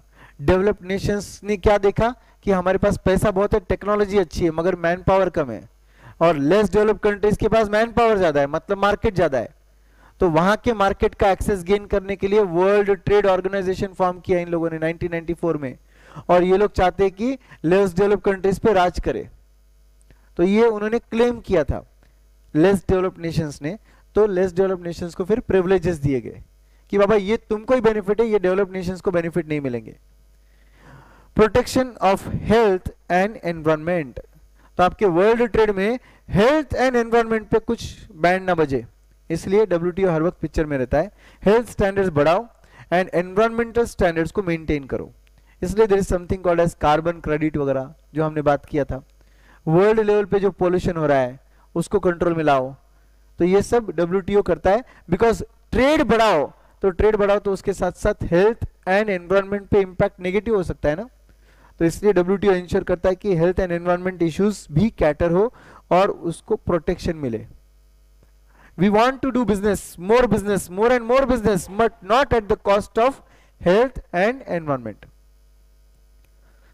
so, ये सब WTO के मेजर गाइडिंग प्रिंसिपल्स है। इस बेसिस पर WTO एक्चुअली चलता है। समझे? नाउ फ्रेंड्स WTO के कुछ इंपॉर्टेंट अरेंजमेंट्स एग्रीमेंट्स क्या है? रूल ऑफ़ ओरिजिन कहाँ के गुड्स है? रूल ऑफ़ ओरिजिन मत लाओ। नेशनल ट्रीटमेंट प्रिंसिपल फॉलो करो। रूल ऑफ़ ओरिजिन मत लाओ मतलब इंडिया के गुड्स गवर्नमेंट प्रोक्योर कर रहा है तो गवर्नमेंट बोलेगा, इंडिया के ही प्रोड्यूस्ड गुड्स चाहिए हमको। ऐसा सिस्टम मत फॉलो करो। This is not encouraging world trade this is rather discouraging world trade तो उसे बोलते हैं rules of origin import licensing procedures simple रखो। इंपोर्ट करने के लिए जो लाइसेंस अगर आप रख रहे हो, उसके प्रोसीजर्स रहेंगे तो वो कम से कम यू नो बैरियर्स वाले प्रिंसिपल्स रखो, ताकि सबको इंपोर्ट करने का अधिकार मिले। ये सब थियोरटिकल बातें हैं। प्रैक्टिकली हमारे देश के एंगल से सोचे तो हमको लगेगा ये सब बकवास है। मगर वर्ल्ड ट्रेड अगर प्रमोट करना है तो ये सब होना चाहिए। Subsidies and countervailing measures tackle करो। सब्सिडीज एंड काउंटरवेलिंग मेजर्स आपको याद है क्या ये कंसेप्ट सीवीडी वाला। सीवीडी वाला कंसेप्ट याद है? अगर कोई कंट्री अपने एक्सपोर्ट को प्रमोट करने के लिए एक्सपोर्टर्स को दे रहा है सब्सिडी तो ये तो दूसरी कंट्री के एंगल से अनफेयर है। तो दूसरी कंट्री क्या चार्ज करेगा? सीवीडी चार्ज करेगा। Safeguard trades in services safeguards provide करो सर्विसेज़ का ट्रेड भी प्रमोट करो इंटेलेक्चुअल प्रॉपर्टी राइट्स को प्रमोट करो आईपीआर बोलते ना जिसको तो उसको प्रमोट करो। सो गाइज़ आईपीआर जो होते हैं इंटेलेक्चुअल प्रॉपर्टी राइट्स जैसे फॉर एग्जांपल एप्पल कंपनी का लोगो है। अगर इंटरनेशनल ट्रेड प्रमोट हो रहा है मतलब एप्पल कहाँ की कंपनी है? यूएस बेस्ड कंपनी है। बिज़नेस कहाँ कर रही है? इंडिया में भी कर रही है। तो गाइज़ वो लोगो इंडिया में कोई और कॉपी कर लिया अगर तो उस पर केस होना चाहिए ना। तो उसे बोल रहे we are protecting their intellectual property right ये लोगो यूज़ करना मतलब क्या है? ये एक तरफा इंटेलेक्चुअल प्रॉपर्टी है। तो ऐसा ना हो कि वो यूएस वाली कंपनी इंडिया में बिज़नेस कर रही है, मगर इंडिया में उनके इंटेलेक्चुअल प्रॉपर्टी की कोई वैल्यू ही नहीं है। उनके अगर कोई ट्रेडमार्क है, कोई पेटेंट है, कोई कॉपीराइट है तो उनको पूरा प्रोटेक्शन मिलना चाहिए और इंडिया में उन्होंने उसी कंफर्ट से बिज़नेस करना चाहिए, जिस कंफर्ट से वो यूएस में करते हैं। तो उसके लिए इंटेलेक्चुअल प्रॉपर्टी राइट्स को सेटलमेंट करने के लिए अलग ट्रेड एग्रीमेंट है। फिर सेटलमेंट ऑफ़ डिस्प्यूट अगर कोई डिस्प्यूट हो जाता है कंट्रीज़ के बीच ट्रेड करते वक्त तो उसका सेटलमेंट मैकेनिज्म होना चाहिए, जो कि कैसा होना चाहिए वो हमने इधर देखा था। कैसा होना चाहिए? Transparent effective verifiable dispute settlement mechanism होना चाहिए। बराबर कि नहीं? फिर ट्रेड पॉलिसी रिव्यू मैकेनिज्म होना चाहिए हर कंट्री में। टाइम टू टाइम जो ट्रेड पॉलिसीज़ तुम ला रहे हो ना, उसे टाइम टू टाइम रिव्यू भी करनी चाहिए। आउटडेटेड यू नो पहले के ट्रेड पॉलिसीज़ थे। सालों साल चेंज नहीं किए, ऐसा नहीं होना चाहिए। हर बार आपके ट्रेड पॉलिसीज़ आपने क्या करनी चाहिए? रिव्यू करनी चाहिए। मतलब उनमें कोई चेंजेस की ज़रूरत है क्या? Looking at the economic scenario उसमें कोई चेंजेस की ज़रूरत है क्या? वो आपने हर बार चेक करना चाहिए। Plurilateral trade agreement on trade in civil aircraft and government procurement तो गवर्नमेंट प्रोक्योरमेंट में एंड सिविल एयरक्राफ्ट वगैरह में हमने कौन से एग्रीमेंट्स को प्रमोट करना चाहिए? प्लूरिलैटरल व्हाट इज़ प्लूरिलैटरल एक नहीं, दो से ज़्यादा। दो से ज़्यादा एंड बहुत से कम। उसे प्लूरिलैटरल बोलते हैं। तो सिविल एयरक्राफ्ट में और गवर्नमेंट प्रोक्योरमेंट में वैसे भी कम कंपनी कम कंट्रीज़ है, जो सिविल एयरक्राफ्ट में डील करते हैं या गवर्नमेंट प्रोक्योरमेंट में डील करते हैं। तो उस वक्त बायोलैटरल या यूनिलैटरल ट्रेड एग्रीमेंट मत लाओ, उस वक्त प्लूरिलैटरल एग्रीमेंट लाओ। मतलब जहाँ तुम दो से ज़्यादा देश को इन्वॉल्व कर रहे हो और सिविल एयरक्राफ्ट या गवर्नमेंट प्रोक्योरमेंट कर रहे हो। समझे क्या? तो ये सब आपके इंपॉर्टेंट एग्रीमेंट है डब्ल्यू के। जैसे गवर्नमेंट को आज आर्म्स एंड एम्यूनिशन चाहिए रहता है तो ये भी गवर्नमेंट प्रोक्योरमेंट का ही हिस्सा है। हम लोग रशिया से ला रहे डिफेंस के, हमारे एयरक्राफ्ट वगैरह तो ये सब गवर्नमेंट प्रोक्योरमेंट है। तो ये गवर्नमेंट प्रोक्योरमेंट जो भी हम कर रहे हैं, या सिविल एयरक्राफ्ट हम ला रहे हैं तो इसके लिए भी प्लूरिलेटरल ट्रेड एग्रीमेंट लाना चाहिए हमने। बायोलेटरल या यूनिलेटरल नहीं यूज़ करना चाहिए अकॉर्डिंग टू डब्ल्यू एग्रीमेंट्स समझ गए? इंपॉर्टेंट एग्रीमेंट्स जो डब्ल्यू के अंडर बने हैं एग्रीकल्चर से अलग एग्रीमेंट एग्रीकल्चर के लिए अलग एग्रीमेंट बनाए एग्रीमेंट ऑन एग्रीकल्चर बोलते हैं उसे। एसपीएस मेजर्स के लिए अलग बना हुआ है। व्हाट इज़ एसपीएस कल देखा था हमने। SPS measures sanitary and phytosanitary measures याद आया? Harmful for human life plant life animal life ऐसे टॉक्सिन्स कंटामिनेंट्स वगैरह, याद आया कुछ? तो एसपीएस मेजर्स के लिए अलग अलग एग्रीमेंट बना हुआ है। टेक्सटाइल्स एंड क्लोथिंग्स के लिए डब्ल्यूटीओ में अलग एग्रीमेंट बना हुआ है। टेक्निकल बैरियर्स टू ट्रेड जिसको टीबीटी बोलते हैं इसके लिए अलग एग्रीमेंट बना हुआ है। ट्रेड रिलेटेड इन्वेस्टमेंट मेजर्स अगर एक कंट्री दूसरे कंट्री में इन्वेस्टमेंट कर रही है तो उससे रिलेटेड अलग एग्रीमेंट बना हुआ है। एंटी डंपिंग के लिए अलग एग्रीमेंट बना हुआ है। अगर कोई एक देश दूसरे देश में डंपिंग कर रहा है तो वो डंपिंग रोकना चाहिए उसके लिए। एंटी डंपिंग अलाउड है आपको ड्यूटी चार्ज करना। तो उसके लिए सेपरेट एग्रीमेंट है कि कौन से हालात में कब कौन सी कंट्री एंटी डंपिंग चार्ज करेगा। आपको पता है दो ही कंडीशन है एंटी डंपिंग के। डंपिंग को रोकने के लिए सिर्फ़ दो कंडीशन फुलफिल होने के बाद आप एंटी डंपिंग चार्ज कर सकते हो। कब एक कंट्री डंपिंग कंट्री उस करते, कब एक कंट्री डंपिंग कर रही है, उसके दो ही कंडीशन है। मैन्युफैक्चरिंग कॉस्ट नहीं average total cost of production per unit उससे कम में यहाँ पे बेचा जा रहा है। जिसको आप फाउंडेशन इकोनॉमिक्स में एटीसी बोलते थे ना? एटीसी याद है क्या? एवरेज टोटल कॉस्ट जिसमें वेरिएबल कॉस्ट भी आ गया एंड फिक्स कॉस्ट भी आ गया। उसे बोलते हैं एवरेज टोटल कॉस्ट उस रे उस कॉस्ट से कम में दू, तुम दूसरे कंट्री में बेच रहे हो। या उस देश के डोमेस्टिक सेलिंग प्राइस से भी कम में आप बेच रहे हो। याद है बैटरीज का एग्ज़ाम्पल कल? चाइना में कितने में बेच रहे थे? 40 उसका प्रोडक्शन कॉस्ट कितना था? 35 और इंडिया में कितने में बिक रहा है? 30 करेक्ट इन दो में से कोई एक कंडीशन भी फॉलो हो गई ना तो वो डंपिंग है। और तब हम चार्ज कर सकते हैं एंटी डंपिंग उससे रिलेटेड भी हमारे पास एग्रीमेंट्स है। फिर कस्टम वैल्यूएशन कैसा होगा? गुड्स का वैल्यूएशन कस्टम टेरिटरी पे कैसे होगा? उसके लिए भी सेपरेट एग्रीमेंट्स बने हुए। एंड प्री शिपमेंट इंस्पेक्शन कैसे होगा? शिपमेंट मतलब आप गुड्स भेज रहे हो। तो उस गुड्स को भेजने के पहले गुड्स का कैसे प्रॉपर शिपमेंट इंस्पेक्शन होगा प्री शिपमेंट इंस्पेक्शन किस तरीके से होगा उसके रिलेटेड भी एग्रीमेंट्स बने हुए। तो ये डब्ल्यू के अलग अलग एग्रीमेंट्स है बस इनके नाम याद रखो बस। अगर separate agreement on textile and clothings separate agreements on SPS measures, separate agreement on agriculture separate agreement on investment related uh, कोई भी ट्रेड रिलेटेड इन्वेस्टमेंट मेजर्स अगर आपको करने हैं technical barriers to trade उसके लिए separate agreement है। Got it? Now कुछ कंसर्न्स जो WTO के थे वो कंसर्न्स देख लेते हैं हम लोग। क्यों डब्ल्यू इतना फोर्सफुली वर्ल्ड लेवल पे काम कर रहा है और उनके मेजर क्या कंसर्न है? मतलब क्या वरीज है उनको? तो सबसे पहले slow progress of multilateral negotiation उनके मुताबिक यार मल्टीलेटरल निगोसिएशन बहुत ही स्लो रेट से हो रहा है। सब लोग बायोलेटरल निगोसिएशन ही कर रहे हैं। कोई यूनिफॉर्मिटी के लिए रेडी नहीं है। दूसरा uncertainties resulting from regional trade agreements अगर एक आरटीएस बोलते हैं ना इसको आरटीएस रीजनल ट्रेड एग्रीमेंट्स जिसमें अलग अलग ट्रेड एग्रीमेंट्स आते हैं जो हमने पढ़े। कस्टम यूनियन वगैरह वगैरह फ्री ट्रेड एरिया वगैरह वगैरह तो ये रीजनल ट्रेड एग्रीमेंट्स है। इनकी वजह से बहुत अनसर्टेनिटीज क्रिएट हो रही है। क्योंकि इसमें क्या होता है, तुम वर्ल्ड के सभी कंट्रीज़ को एट पार ट्रीट नहीं कर रहे हो ना। जब तुम बोलते हो कि हमारे बीच ये एग्रीमेंट साइंड है, हमारे बीच वो एग्रीमेंट साइंड है, हम कॉमन इकोनॉमिक पॉलिसीज़ यूज़ करेंगे कॉमन करेंसी यूज़ करेंगे, दूसरों को सेम रेट चार्ज करेंगे। कोई कोई एग्रीमेंट्स बोलते हैं, हम लोग यू नो अपने बीच में एलिमिनेशन ऑफ़ ऑल बैरियर्स कर चुके हैं, मगर दूसरों को क्या टैरिफ चार्ज करेंगे? इंडिपेंडेंटली हम डिसाइड करने वाले हैं। तो कितने सारे एग्रीमेंट्स अलग अलग तरीके से है। और ये सब कंफ्यूजन क्रिएट कर रहे हैं, इसकी वजह से अनसर्टेनिटीज बढ़ रही है। जबकि डब्ल्यूटीओ बोलता है कि trade should be predictable trade पढ़ा था ना आपने? स्मूथली प्रडिक्टेबली फ्रीली फेयरनेस होना चाहिए। तो यहाँ पे ये सब मिसिंग हो रहा है बिकॉज़ आरटीएस फॉर्म हो रहे हैं। रीजनल ट्रेड एग्रीमेंट्स फॉर्म हो रहे हैं।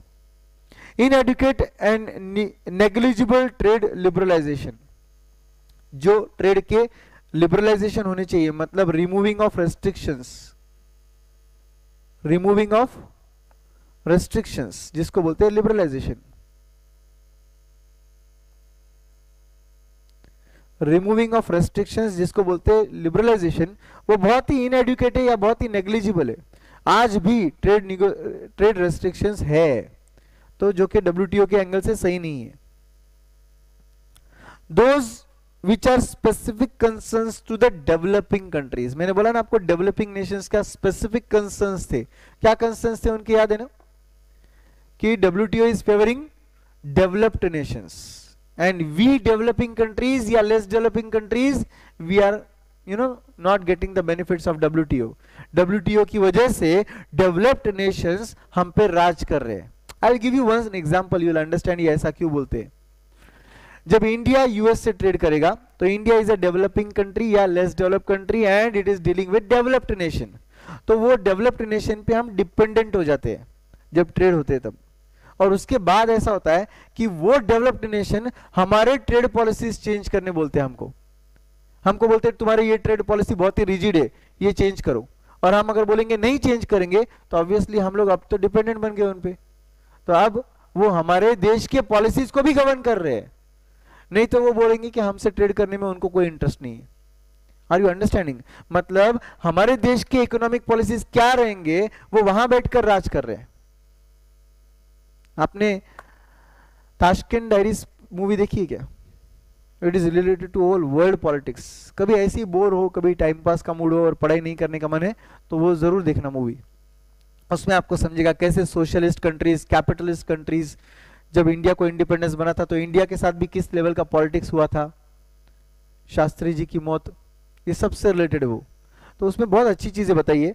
तो नो no डाउट ऐसा होता है कि कुछ कंट्रीज़ हम पर राज करना चाहते हैं। हमारे पॉलिसीज़ वो लोग कंट्रोल में लेना चाहते हैं। तो वो सही नहीं है। Protectionism and lack of willingness amongst developed countries to provide market access तो खुद के मार्केट को प्रोटेक्ट करके रखो। विलिंगनेस ही नहीं है कि उनके मार्केट का एक्सेस दूसरे मार्केट को मिले। तो खुद के मार्केट को प्रोटेक्ट करके रखो and lack of willingness to give market access to others to provide market access to others ये कौन से कंट्रीज़ के साइड से होता है? मेनली डेवलप्ड कंट्रीज़ में होता है ऐसा। Developed countries they are not willing to give the market access of their country to others they want to gain market access of other countries, but they don't want to give their access. कितना unfair है ये। और खुद के market को protect करके रखना है उनको। Difficulties that they face in implementing the present agreements अभी जो अग्रीमेंट्स है, जो भी ऊपर आपने पढ़े ट्रेड रिलेटेड डिस्प्यूट अगर हुआ तो क्या? एग्रीमेंट ऑन एग्रीकल्चर अलग है टेक्सटाइल एंड क्लोथिंग अलग एग्रीमेंट है इंटेलेक्चुअल प्रॉपर्टी राइट के लिए अलग एग्रीमेंट है। तो ये एग्रीमेंट्स को इंप्लीमेंट करने में डब्ल्यू को बहुत दिक्कत आती है। अपेरेंट नॉर्थ साउथ डिवाइड मैंने बोला ना आपको world war two was a great divide for world north northern countries अलग हो गए और सदर्न कंट्रीज़ अलग हो गए, और उनके बीच ग्रुपिज्म चालू हो गया। और वो एक दूसरे से ट्रेड नहीं करते अभी। भले डब्ल्यू एनकरेज करता है, उनके बीच निगोसिएशंस के लिए बैठता भी है बट फिर भी वो एक दूसरे से ट्रेड करने में आज भी कंफर्टेबल नहीं है।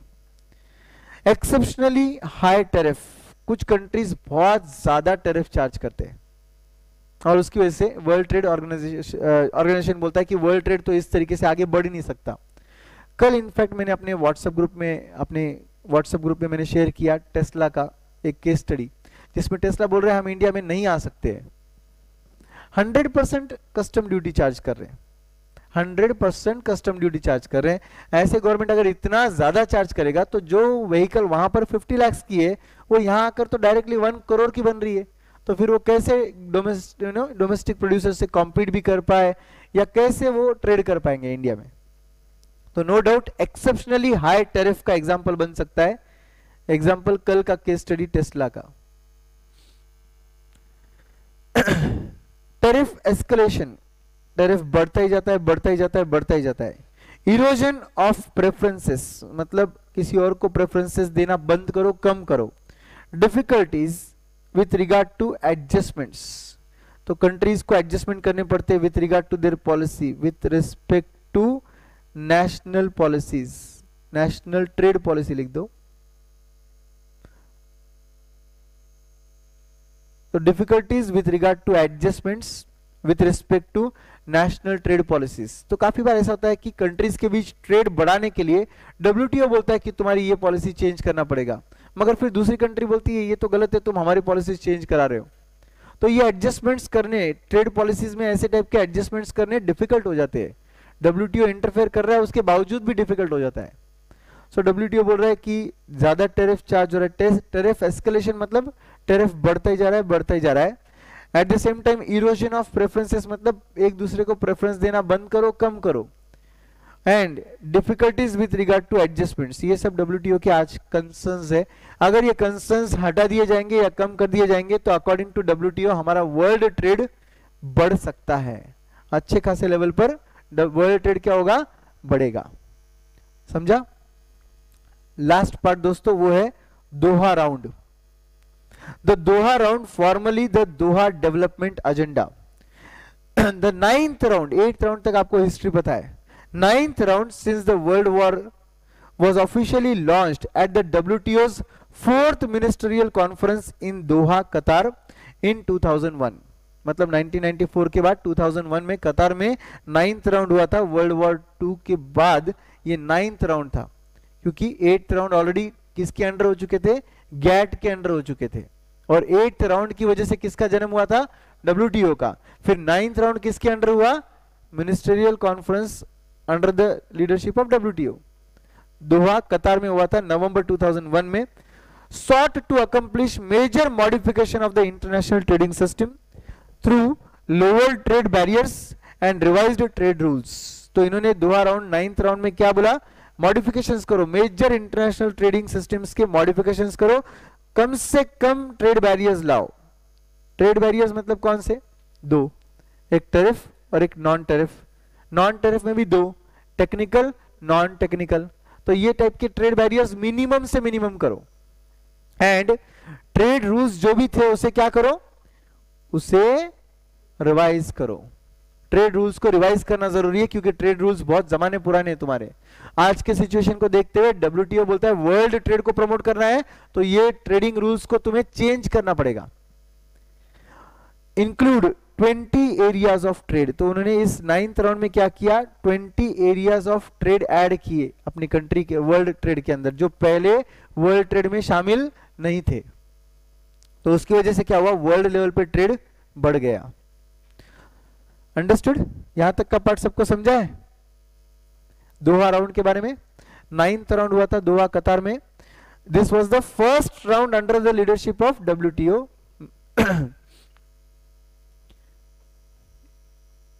चलिए, इसके बाद आता है एक्चुअली एक्सचेंज रेट हम एक्सचेंज रेट पे बाद में जाएँगे अभी। यहाँ से ऐसा समझ लो कि नेक्स्ट यूनिट स्टार्ट होता है। तो हम एक्सचेंज रेट पर अभी नहीं जाएँगे, बाद में जाएँगे। पहले हम लोग क्या करेंगे? मॉड्यूल के एमसीक्यूज सॉल्व आपके मॉड्यूल के जो प्रैक्टिकल क्वेश्चंस है इलिस्ट्रेशंस वो सॉल्व करेंगे। आप सब लोगों ने सॉल्व किए रहेंगे। हमें सिर्फ़ डिस्कस करके आगे बढ़ना है। डोंट एक्सपेक्ट कि मैं यहाँ पर लाइन बाय लाइन सॉल्व करूँगा। मैं आपको आपको लॉजिक बताऊँगा कि किस लॉजिक से आपको उसे सॉल्व करना था। I want solve with you I just discuss the logic with you ठीक है? हैंड होल्डिंग मुझे ऐसे करना है जिससे आप इंडिपेंडेंट बनो। मुझे ऐसा हैंड होल्डिंग नहीं करना है जिससे आप मेरे पे डिपेंडेंट बन जाओ। एग्ज़ाम में मैं नहीं रहूँगा। सॉल्व तो आपको ही करना है। तो आई होप आपने घर पे सॉल्व किया रहेगा। किया है क्या? कोशिश की है क्या?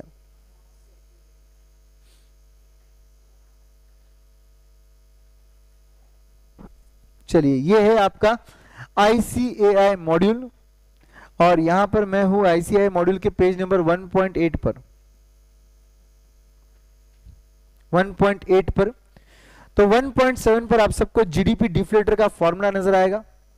जीडीपी डिफ्लेटर का फॉर्मूला मिला गया और याद है कि अब तक जीडीपी डिफ्लेटर का फॉर्मूला क्या है? Nominal GDP upon real GDP into hundred nominal मतलब विथ इन्फ्लेशन एंड रियल मतलब without the effect of inflation correct याद आ रहा है सब कुछ? चलिए तो यहाँ पर इलिस्ट्रेशन नंबर वन जो है, वो उसी पर बेस्ड है। Find out the GDP deflator and interpret it तो गाइज़ यहाँ पर उन्होंने क्या कर दिया? उसी इलिस्ट्रेशन में डायरेक्टली जीडीपी डिफ्लेटर के नंबर भी दे दिए आपको। ये एक्चुअली आपको डैश डैश देना चाहिए और आपने ढूंढना चाहिए था ये। बट कोई बात नहीं। Nominal GDP upon real GDP into hundred करके निकालना है। ठीक है? तो लो कैलसी सैंपल बेसिस पर दो निकाल लो मेरे साथ। 2016 का निकालते हैं। बोलो नॉमिनल जीडीपी कितना लोगे कैलसी पर? 1150 अपॉन रियल जीडीपी कितना लोगे? 800 हंड्रेड इंटू हंड्रेड करोगे आप। 143.75 आया? यस लास्ट लास्ट वाला 2019 वाला कैलकुलेट करेंगे। 1700 डिवाइडेड बाय 1240 इंटू हंड्रेड 137.10 आया क्या? एवरीबडी तो इस तरीके से जीडीपी डिफ्लेटर निकलेगा। अब इंटरप्रिटेशन करना है हमको जीडीपी डिफ्लेटर का। ध्यान से सुनो जीडीपी डिफ्लेटर का इंटरप्रिटेशन क्या रहेगा? जब जब जीडीपी डिफ्लेटर बढ़ रहा है, बढ़ रहा है, तब समझ जाने का कि प्रीवियस ईयर के मुकाबले आपके प्राइजेस बढ़ रहे इन्फ्लेशन है। बट जब आपका जीडीपी डिफ्लेटर घट रहा है और घट रहा है, इसका मतलब यह है कि प्रीवियस ईयर के मुकाबले आपके प्राइजेस फॉल हो रहे हैं। समझ गए? एंड यहाँ पर वापस से बढ़ चुका है। तो this is the interpretation of GDP deflator as simple as this and at the same time GDP deflator अगर मोर देन 100 है तो इसका मतलब है कि बेस ईयर के मुकाबले प्राइसेस बढ़ रहे हैं। मेरे एग्जांपल में बेस ईयर क्या है? 2014 इस इलिस्ट्रेशन में बेस ईयर क्या है? 2014 क्योंकि जब जब बेस ईयर होता है, तब तब जीडीपी डिफ्लेटर 100 होता है। बेस ईयर का जीडीपी डिफ्लेटर हर वक्त हंड्रेड रहेगा। अगर आपका डिफ्लेटर वैल्यू हंड्रेड से ऊपर जा रहा है मतलब बेस ईयर के मुकाबले आपके प्राइजेस बढ़ रहे हैं। और अगर आपका डिफ्लेटर वैल्यू हंड्रेड से कम हो रहा है, इसका मतलब बेस ईयर के मुकाबले 2014 के मुकाबले मेरे प्राइजेस फॉल हो रहे हैं। This is the simple interpretation of GDP deflator. तो वही चीज़ वहाँ लिखी है डोंट वरी ठीक है? By the way for example let's say आपको मैं पूछता हूँ आई वॉन्ट टू नो कि 2016 में इन्फ्लेशन रेट कितना था? 2016 में इन्फ्लेशन रेट कंपेयर टू 2015 कितना हुआ? बोलो, कैसे निकालोगे? Come on everybody don't sit like this give me answer नहीं पता।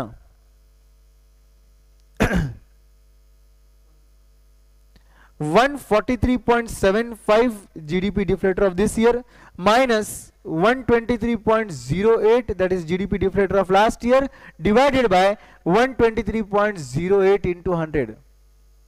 Inflation in year 2 is nothing but GDP deflator of year 2 minus GDP deflator of year 1 divided by GDP deflator of year 1 into 100.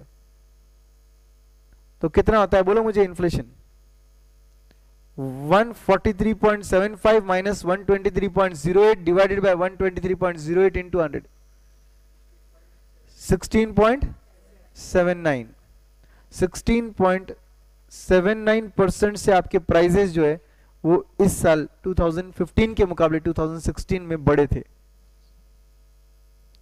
Correct समझा? और ये मैं कोई अलग चीज़ नहीं बोल रहा हूँ, ये देखिए। मिला क्या? ऐसा होता है कनेक्टिविटी थोड़ा पिछला अगला बड़ा करो। ओके चलिए। तो जीडीपी डिफ्लेटर वाला कंसेप्ट क्लियर है। इलिस्ट्रेशन नंबर टू पर जाएँगे। इलिस्ट्रेशन टू तो बहुत ही सिंपल है बट यहाँ पर एक्स्ट्रा केयरफुल रहने की ज़रूरत है। अगर एग्ज़ाम में ये क्वेश्चन आ जाता है तो 20 परसेंट जनता कम से कम स्टूपिड मिस्टेक से मार्क्स गमा देगी। और इस क्वेश्चन में स्टूपिड मिस्टेक क्या हो सकता है? आपको यहाँ पर nominal GDP and real GDP respectively बोला है। और गाइज़ यहाँ पर नॉमिनल जीडीपी आपको 3000 करोड़ दिया है और रियल जीडीपी आपका 4700 करोड़ है। मतलब real GDP is more than nominal समझे क्या? नॉर्मली उल्टा होता है ना? नॉमिनल ज़्यादा होता है बिकॉज़ नॉमिनल में इफ़ेक्ट ऑफ़ इन्फ्लेशन है और रियल में इफ़ेक्ट ऑफ़ इन्फ्लेशन नहीं है। इसका मतलब इस साल में डिफ्लेशन आया था। समझे क्या? तो फिर ऐसे केस में आपका नॉमिनल बाय रियल करते वक्त आपको केयरफुल रहना है। 3000 बाय 4700 करना है आपको और इंटू हंड्रेड करना है और आपका आंसर 63.83 आता है। और इसका इंटरप्रिटेशन क्या होता है? 63.83 का मतलब होता है कि बेस ईयर के मुकाबले आपका प्राइजेस फॉल हो चुके। आपके प्राइजेस बेस ईयर के मुकाबले फॉल हो चुके क्योंकि आपका जीडीपी डिफ्लेटर 100 से कम है। वो भी लिखा है यहाँ पर। ओके आगे बढ़ू? चलिए। इलिस्ट्रेशन नंबर थ्री पर जाते हैं। नॉमिनल जीडीपी फाइंड करना रियल जीडीपी दे रखा है प्राइस इंडेक्स भी दे रखा है। भाई साहब, ये प्राइस इंडेक्स क्या होता है? यस जीडीपी डिफ्लेटर का दूसरा नाम है ये। जीडीपी डिफ्लेटर का दूसरा नाम है ये price index and nominal GDP निकालना है रियल जीडीपी दे रखा है डिफ्लेटर भी दे रखा है। सिंपल है मॉडिफाई कर ले फॉर्मूला आपको डायरेक्ट आंसर आ जाएगा। आपका डिफ्लेटर का फॉर्मूला क्या है? Nominal by real into hundred correct आपके पास डिफ्लेटर रेडी है, आपके पास रियल रेडी है तो आपको नॉमिनल तो डायरेक्टली मल्टीप्लाई करके मिल जाएगा ना? आपका नॉमिनल वैल्यू कितना आएगा? 540 घर पे करेक्ट आंसर आए क्या? फोर्थ इलिस्ट्रेशन पे आते suppose nominal GDP of the country in the year 2010 is given as 600 crores and the price index is given as base year is 100 base year का price index देने की ज़रूरत भी नहीं है। बेस ईयर का प्राइस इंडेक्स मतलब GDP deflator हर वक्त हंड्रेड ही होता है। बोलने की ज़रूरत नहीं है। Now let the nominal GDP increase to 1200 crore in year 2018 and price index rises to 110 मतलब ये प्राइस इंडेक्स मतलब क्या है? जीडीपी डिफ्लेटर है। 2018 का कितना दे रखा है? 110 find out the real GDP कितना सिंपल है। आपको इस क्वेश्चन में सिर्फ़ एक बात याद रखनी है कि ये जो इंफॉर्मेशन आपको दी है, इसे इग्नोर करना पड़ेगा आपको। क्यों? क्योंकि वो तो 2010 का इंफॉर्मेशन दिया है और अपने को डेटा पूछा है 2018 का। तो ऑब्वियसली 2018 का ही नॉमिनल जीडीपी यूज़ करो 2018 का ही जीडीपी डिफ्लेटर यूज़ करो और सीधा सीधा रियल जीडीपी निकालना है आपको। बोलो फॉर्मूला जीडीपी डिफ्लेटर का फिर से एक बार। Nominal GDP by real GDP into 100. Now modify this and make it real GDP is equal to nominal upon GDP deflator into 100. Correct तो उससे आपका आंसर आ जाएगा 1090.9 ये आया क्या घर पे आंसर करेक्ट चलिए इसके बाद illustration next is on page number what 1.16 page number open करना है आपको। एंड यहाँ पर आपको इलिस्ट्रेशन नंबर फाइव दे रखा है। बहुत ही सिंपल क्वेश्चन है दोस्तों। आपको इस इलिस्ट्रेशन में क्या क्या पूछा है? नेशनल इनकम मतलब NNP at factor cost NNP at market price बोलो दोनों में डिफरेंस क्या है? नेट इनडायरेक्ट टैक्सेस का डिफरेंस है दोस्तों इन दोनों में। करेक्ट फिर उसके बाद जीएनपी एट मार्केट प्राइस इन दोनों में क्या डिफरेंस है? सिर्फ़ डेप्रिसिएशन का डिफरेंस है करेक्ट एंड जीएनपी से जीडीपी एट मार्केट प्राइस पहुँचना रहेगा तो एन एफ़ आई का डिफरेंस है। आई होप सबको समझा होगा। तो ये एकदम इजी क्वेश्चन था, आपने सॉल्व किया। अच्छा ये पूरा डेटा कौन से मेथड का दिया है? इनकम मेथड का दिया है। अच्छा depreciation is nothing but consumption of fixed capital ये तो समझा रहेगा आपको। यस ये सब इंफॉर्मेशन जो मैं बोल रहा हूँ, ये सब बकवास लगेगा, आपने घर पे सॉल्व नहीं किया रहेगा तो। और अगर आप घर पे सॉल्व कर चुके हो तो ये जो भी मैं बोल रहा हूँ, आप कनेक्ट कनेक्ट कर पा रहे होंगे कि अपन क्या डिस्कस कर रहे हैं। ठीक है? तो ये एन एफ़ आई निगेटिव था दोस्तों, वो केयरफुल रखना था आपको। एक बात, इस क्वेश्चन में अलग वो थी। और आपको यहाँ पर रेंट और प्रॉफिट कंसिडर करने की ज़रूरत नहीं है। क्यों नहीं है? क्योंकि आपको ऑपरेटिंग सरप्लस दिया हुआ है, जिसमें already rent plus interest plus profit का इंपैक्ट आ चुका है। करेक्ट एवरीवन तो फिर इस तरीके से आपने कैलकुलेट किया क्या सब आंसर्स आए क्या सबके आंसर्स बोलो, शुरुआत किससे करोगे आप? Income method will give you first which data and DP at factor cost मिलता है आपको, जिसका फॉर्मूला है ऑपरेटिंग सरप्लस मतलब 2000 operating surplus plus compensation of employees माने के थाउज़ेंड प्लस मिक्स्ड इनकम माने के वन थाउज़ेंड वन हंड्रेड इन तीनों को ऐड करेंगे तो हमको क्या मिलेगा? एनडीपी एट फैक्टर कॉस्ट कितना मिलता है वो? 4100 करोड़ ये मिलेगा। एक बार ये मिल गया तो ऊपर अपन ने फिर एनडीपी से कहा जाना है बोलो पहले? एनएनपी एट फैक्टर कॉस्ट चले जाए। तो N N P at factor cost जाने के लिए, इस एनडीपी एट फैक्टर कॉस्ट में से अपने को डोमेस्टिक से नेशनल जाना है तो एड एनएफआई करना चाहिए बट एड नहीं होगा माइनस होगा, क्योंकि एनएफआई निगेटिव है। तो फिर हमारा आंसर 4050 करोड़ आएगा। एक बार आप N N P at factor को पहुँच गए तो मैंने ऊपर फ्लो लिखा ही है। आप अलग अलग अलग अलग जगह जा सकते हो। समझ गए? Any doubt any confusion I hope this discussion is useful for you समझ रहे हैं आपको क्या करना चाहिए था आपने? सिक्स क्वेश्चन वेरी गुड यहाँ पे लाइव स्ट्रीमिंग वाले भी एकदम तोड़ आंसर दे रहे भाई। बढ़िया है। सिक्स क्वेश्चन पे आएँगे और सिक्स क्वेश्चन क्या बोलता है आपको? From the following data estimate the national income मतलब N N P at factor cost and personal income भी निकालो बोल रहे और पर्सनल इनकम का आपको फॉर्मूला तो याद ही होगा, ऊपर दिया है।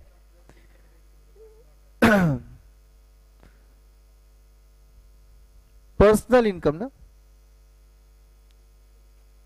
Yes this is the formula national income plus income received but not earn and income earn but not received minus करना है आपको। करेक्ट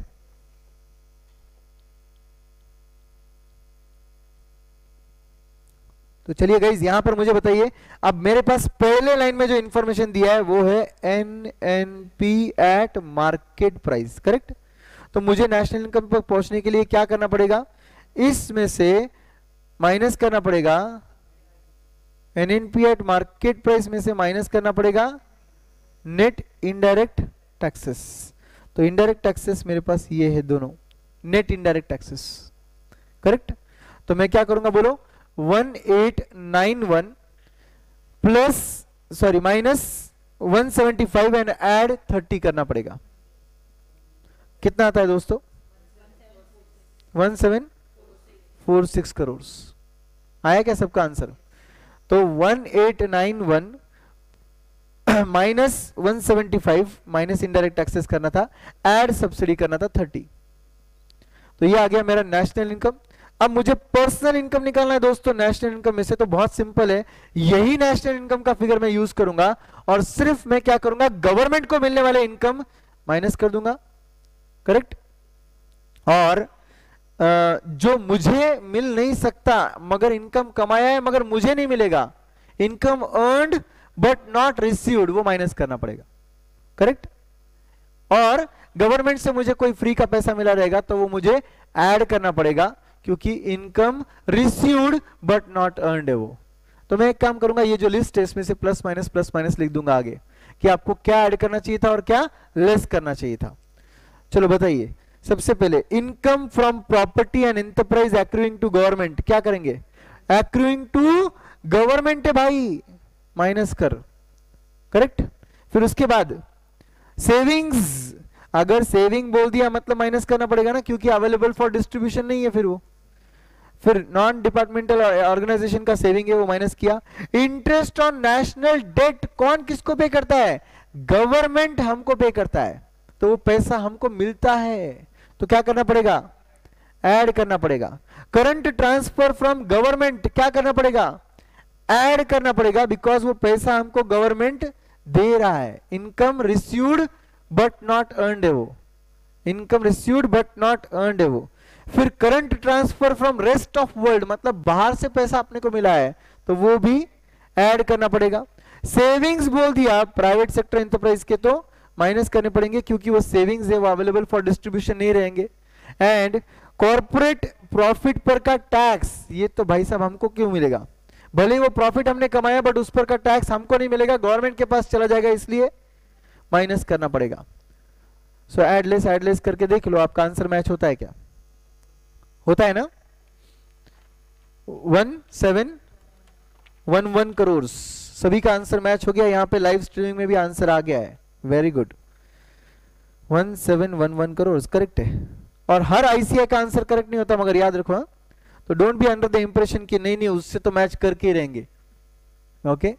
ज़बरदस्ती मैच मत करो भाई. अचानक से ऐसा पता चले कि वो गलत कर रहे हो और आप और गलत कर रहे हो. उनको फॉलो करके.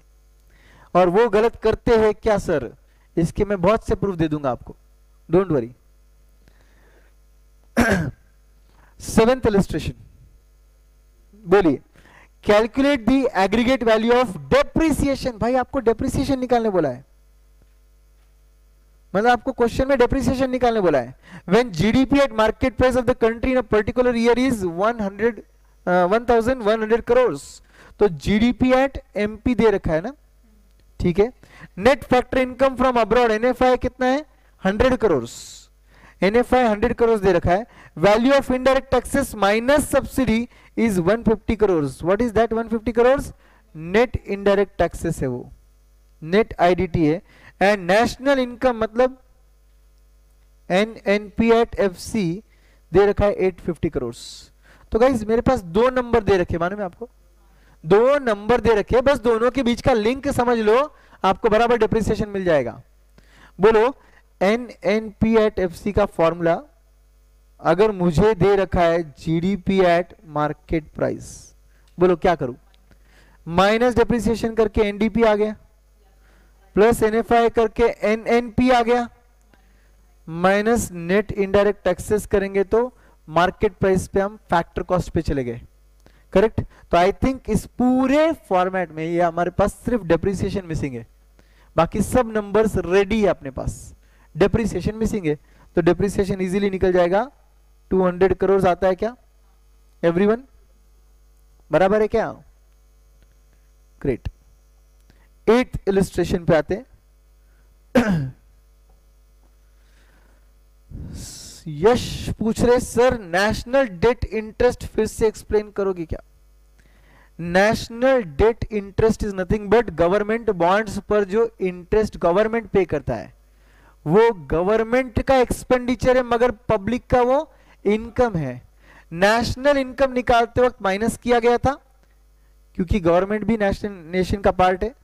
मगर पर्सनल इनकम या प्राइवेट इनकम निकालते वक्त हमको उसे कंसिडर करना पड़ता है क्योंकि वो हमें मिल रहा है गवर्नमेंट से। क्योंकि वो हमें मिल रहा है गवर्नमेंट से government is paying that to private इसलिए अपन उसको ऐड कर रहे हैं। चलिए गाइज़ एट्थ क्वेश्चन पे आते हैं। एट्थ क्वेश्चन बोलता है on the basis of the following information calculate NNP at market price NNP at market price and disposable personal income. What is disposable personal income? Personal income minus income tax. Minus income tax minus any other compulsory payment to government. Fines वगैरह कुछ या कोई cess वगैरह जो government compulsory ले रहा है सबसे तो वो भी माइनस होता है चलिए सबसे पहले फोकस करते हैं एनएनपी एट मार्केट प्राइस कैसे निकलेगा एनडीपी एट फैक्टर कॉस्ट तो दे रखा है आपके पास एंड डी फैक्टर का स्टडी है। Income from domestic produce accruing to government intern on interest on national debt transfer payment by government private net private donation from abroad net factor income from abroad N F I indirect taxes तो ये N F आई ए हो गया, और ये I D T है, और ये subsidy है। करेक्ट इन दोनों को नेट आउट कर कर नेट इनडायरेक्ट टैक्सेस मिलेंगे। फिर डायरेक्ट टैक्स दे रखा है, ये आइटम आपको तब यूजफुल रहेगा जब आप डिस्पोजेबल इनकम पर जाओगे। तब आपको ये क्या करना पड़ेगा? पर्सनल इनकम में से लेस करना पड़ेगा। टैक्सेस ऑन कॉर्पोरेट प्रॉफिट दे रखा है अनडिस्ट्रीब्यूटेड प्रॉफिट ऑफ़ कॉर्पोरेट दे रखा है। तो सबसे पहले फोकस करो कि आप एनएनपी एट मार्केट प्राइस कैसे निकालोगे। आपके पास NDP at factor cost ready है दोस्तों। बोलो। डोमेस्टिक से नेशनल जाना है। एड एनएफआई करना पड़ेगा। उसके बाद फैक्टर कॉस्ट से मार्केट प्राइस जाना है। Add indirect taxes minus subsidies करना पड़ेगा। दैट्स इट तो क्या हमारे पास ये सब नंबर्स रेडी है?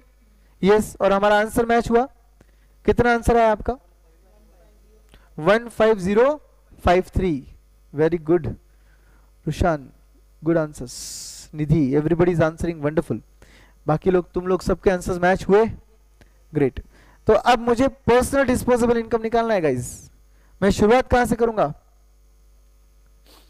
पर्सनल इनकम निकालने के लिए शुरुआत कहाँ से करेंगे? नेशनल इनकम से करेंगे. नेशनल इनकम में कुछ आइटम्स ऐड करेंगे और कुछ आइटम्स लेस करेंगे.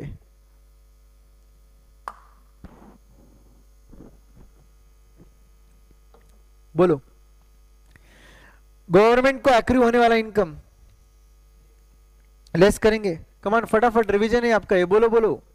Interest on national debt government देता है, मगर प्राइवेट वालों को मिलता है। ऐड करेंगे। हमको मिल रहा है ना? ऐड होगा। फिर transfer payment by government add क्योंकि गवर्नमेंट दे रहा है हमको ये पैसा। Net private donation from abroad मिला है आपको। ऐड करना पड़ेगा। बाकी ये दो तो छोड़ दो एनएफआई वगैरह। इनडायरेक्ट टैक्स डायरेक्ट टैक्सेस क्या करेंगे? माइनस करेंगे क्योंकि डिस्पोजेबल इनकम पे आना है आपको। अगर ऊपर क्वेश्चन में डिस्पोजेबल वर्ड यूज़ नहीं किया रहता, मगर नीचे डायरेक्ट टैक्स दिया रहता तो आप लेस वगैरह कुछ नहीं करते। बी केयरफुल हर इंफॉर्मेशन यूज़ करना ज़रूरी नहीं होता है। बराबर? फिर उसके बाद taxes on corporate profit minus होगा क्योंकि ये पैसा टैक्स के तौर पे गवर्नमेंट को जा रहा है। And undistributed profit of corporation से, मगर वो अनडिस्ट्रीब्यूटेड है। आपको मिला ही नहीं है वो। You have earned it but corporates have kept with तो क्या होगा? लेस हो जाएगा। समझ गए? तो ये सब एडलेस एडलेस करके आपका आंसर बराबर मैच होता है क्या? डिस्पोजेबल इनकम कितना आता है?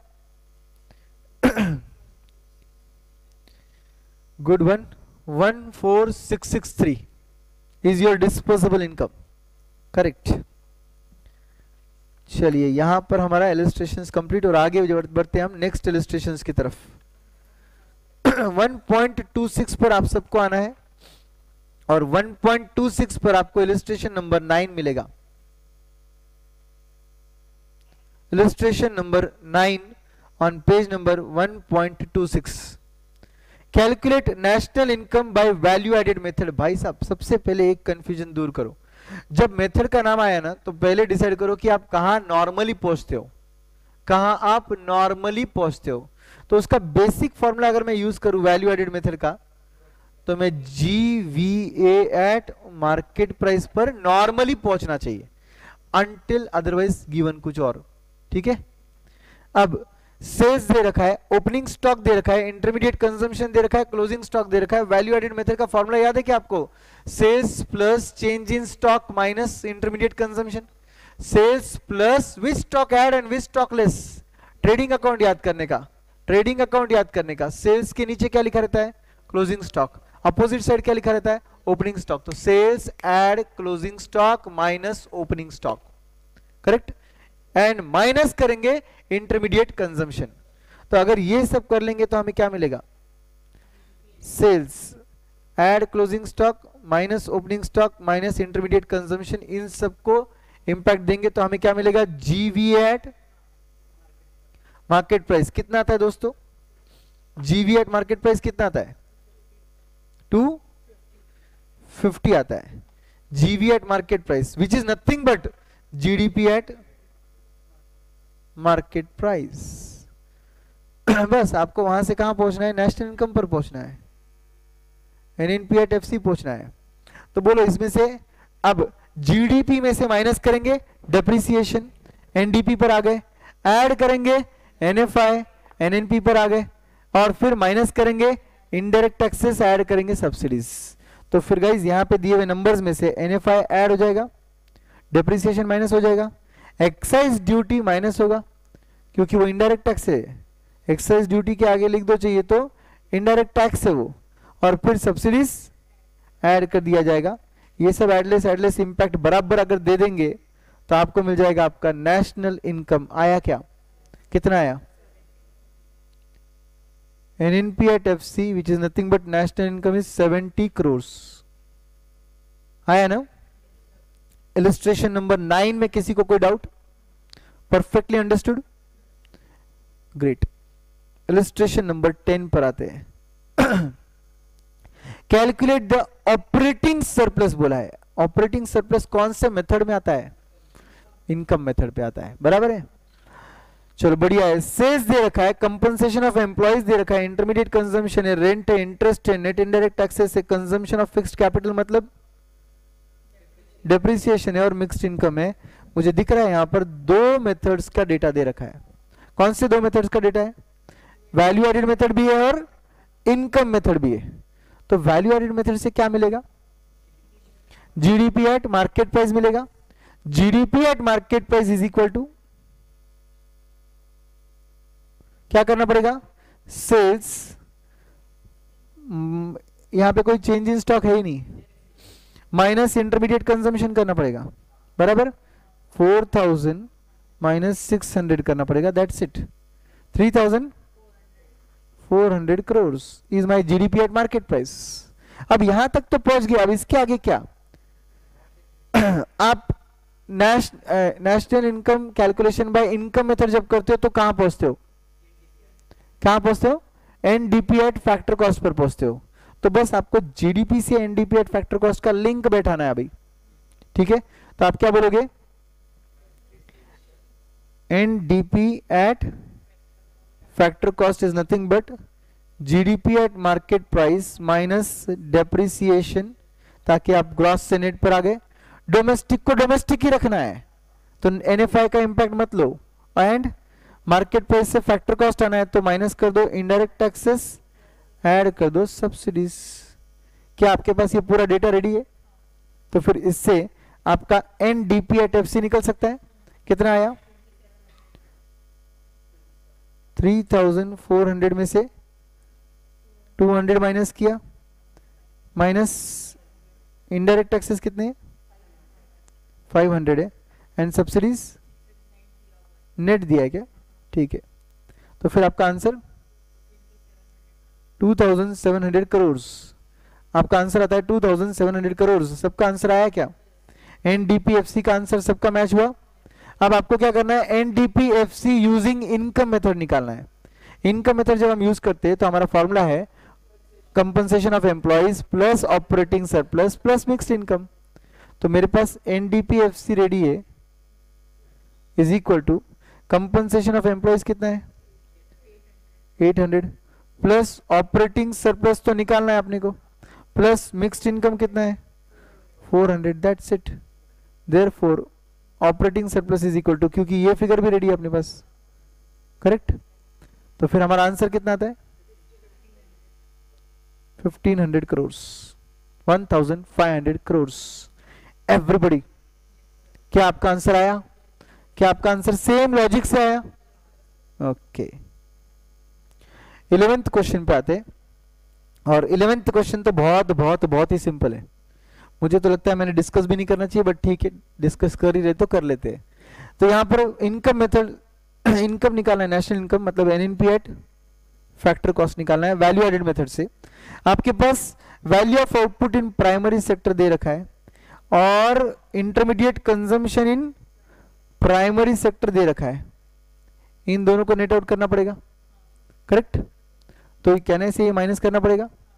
फिर उसके बाद value of output in secondary sector intermediate consumption in secondary sector तो ये माइनस करना पड़ेगा। And value of output in tertiary sector intermediate consumption in tertiary sector दे रखा है माइनस करना पड़ेगा। इन सबको जब मैं ऐड करूँगा तो मुझे जीवीए एट मार्केट प्राइस मिल जाएगा। जीवी एट मार्केट प्राइस मिल जाएगा। उस जीवी एट मार्केट प्राइस में से माइनस करना पड़ेगा थर्टी हम डी से एन पर आ गए। और माइनस करना पड़ेगा डेप्रिसिएशन ताकि हम जी से एन पर आ गए। और फिर इनडायरेक्ट टैक्सेस हमको नेट वाले क्या करने पड़ेंगे? माइनस करने पड़ेंगे। तो ये सब करने के बाद हमारा आंसर आ जाएगा। कितना आएगा? Four thousand crore everybody that was so simple twelfth question twelfth illustration पे आते हैं। एंड इलिस्ट्रेशन ट्वेल्व क्या बोल रहा है हमको? Calculate the NVA by factor cost NVA by factor cost okay बोलिए मुझे। ये जो इंफॉर्मेशन दे रखा है, ये कौन से मेथड का है? वैल्यू एडेड मेथड का है। तो हम पहले वैल्यू एडेड मेथड में कहा नॉर्मली पहुँचते? जीडीपी एट मार्केट प्राइस पर पहुँचते। जिसको हम G V A at M P बोलते हैं। करेक्ट उसके लिए हम क्या करेंगे? सेल्स का नंबर लेंगे। प्लस क्लोजिंग स्टॉक करेंगे थर्टी का। माइनस ओपनिंग स्टॉक करेंगे फोर्टी का। करेक्ट और माइनस करेंगे इंटरमीडिएट कंजम्पशन कितने का? 200 का। So guys you don't need to take this you don't need to take this don't take this why अगर आप इंटरमीडिएट कंजम्पशन बोलते हो तो उसमें ऑलरेडी परचेज ऑफ़ मटेरियल आ चुका है। समझे क्या? इंटरमीडिएट कंजम्पशन में सिर्फ़ गुड्स ही नहीं सर्विसेज़ भी आ चुके हैं। तो गुड्स अलग से क्यों लेंगे वापस? डबल काउंटिंग हो जाएगा ना फिर तो उसका। डबल डिडक्शन हो जाएगा फिर उसका। तो ये हमारा आंसर आएगा। कितना आएगा? जीवी एट मार्केट प्राइस हाँ? टू फोर्टी करोड़ सबका आंसर टू फोर्टी करोड़ आया क्या? अब आपको यहाँ से एनवीए पर पहुँचना है। आप जीवीए तक तो ऑलरेडी हो। और एनवीए कहाँ पहुँचना है? एफसी पहुँचना है। एनवीए एफसी के लिए मुझे क्या करना पड़ेगा? इस 240 करोड़ में से डेप्रिसिएशन माइनस करना पड़ेगा 30 का। और कुछ करने की ज़रूरत है क्या? और कुछ करने की ज़रूरत है क्या? यस है ना भाई? आप मार्केट प्राइस पर थे, आपको फैक्टर कॉस्ट पे आना है। बराबर ना? तो आपको क्या करना पड़ेगा? Minus indirect taxes indirect taxes कहाँ है? एक्सरसाइज है ना? एक्सरसाइज है ना इनडायरेक्ट एक्सेस तो माइनस करना पड़ेगा 45 और ऐड करना पड़ेगा 15 का सब्सिडी दैट्स इट और आपके पास, आपका आंसर आ जाएगा कितना? One eighty crore one eighty crore correct है भाई, एक एक नंबर सब लोग आंसर दे रहे समझा क्या? सबको. So this was your illustration number twelve now coming to thirteenth thirteenth question में बोला है कैलकुलेट वापस से नेशनल इनकम मतलब NNP at factor cost using expenditure method and income method दोनों भी। तो ऐसे क्वेश्चंस में क्या करना चाहिए दोस्तों? सबसे पहले गिवन आइटम्स को या तो एक्सपेंडिचर मेथड या तो इनकम मेथड लिख दो, ताकि आप जब सॉल्व करोगे तो कंफ्यूजन नहीं रहेगा आपको।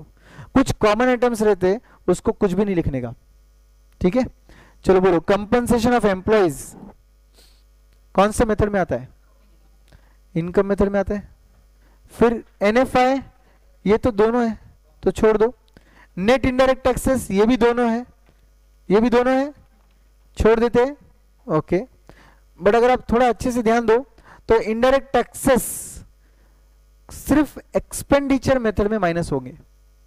इनकम मेथड में इनडायरेक्ट टैक्सेस माइनस नहीं होंगे, क्योंकि income method gives you factor cost so कहने से इनडायरेक्ट टैक्सेस के लिए मैं एक्सपेंडिचर मेथड लिख सकता हूँ? क्यों? समझा क्या? आपको इनकम मेथड कहाँ पहुंचाता है? फैक्टर कॉस्ट पर पहुंचाता है। तो नेशनल इनकम पर जाने के लिए ये यूज़ करने की ज़रूरत ही नहीं है। समझे? प्रॉफिट कौन से मेथड में आता है? इनकम मेथड में आता है, मगर लेंगे नहीं। क्योंकि ऑपरेटिंग सरप्लस दिया हुआ है। तो प्रॉफिट भी नहीं लेंगे रेंट भी नहीं लेंगे इंटरेस्ट भी नहीं लेंगे। समझे? Cut cut cut. फिर उसके बाद private final consumption expenditure expenditure method में आएगा। Net domestic capital formation expenditure method में आता है but but but net word दिया है। You know what net word देने का मतलब क्या हुआ? मतलब ग्रॉस वर्ड नहीं दिया है। मतलब आप जीवी एट मार्केट प्राइस पर नहीं पहुंचोगे। एनवी एट मार्केट प्राइस पर पहुंचोगे बिकॉज़ आपको ग्रॉस नहीं दिया नेट दिया है। जेपा सबको समझा? Consumption of fixed capital depreciation है। और ये यूज़ होगा क्या? नहीं, करने की ज़रूरत नहीं है, क्योंकि आप एनवीए पर पहुँच रहे हो। और mixed income of self employed लेंगे? इनकम मेथड में लेंगे। नेट एक्सपोर्ट एक्सपेंडिचर मेथड में आते हैं। नेट एक्सपोर्ट एनएफआई नहीं होते।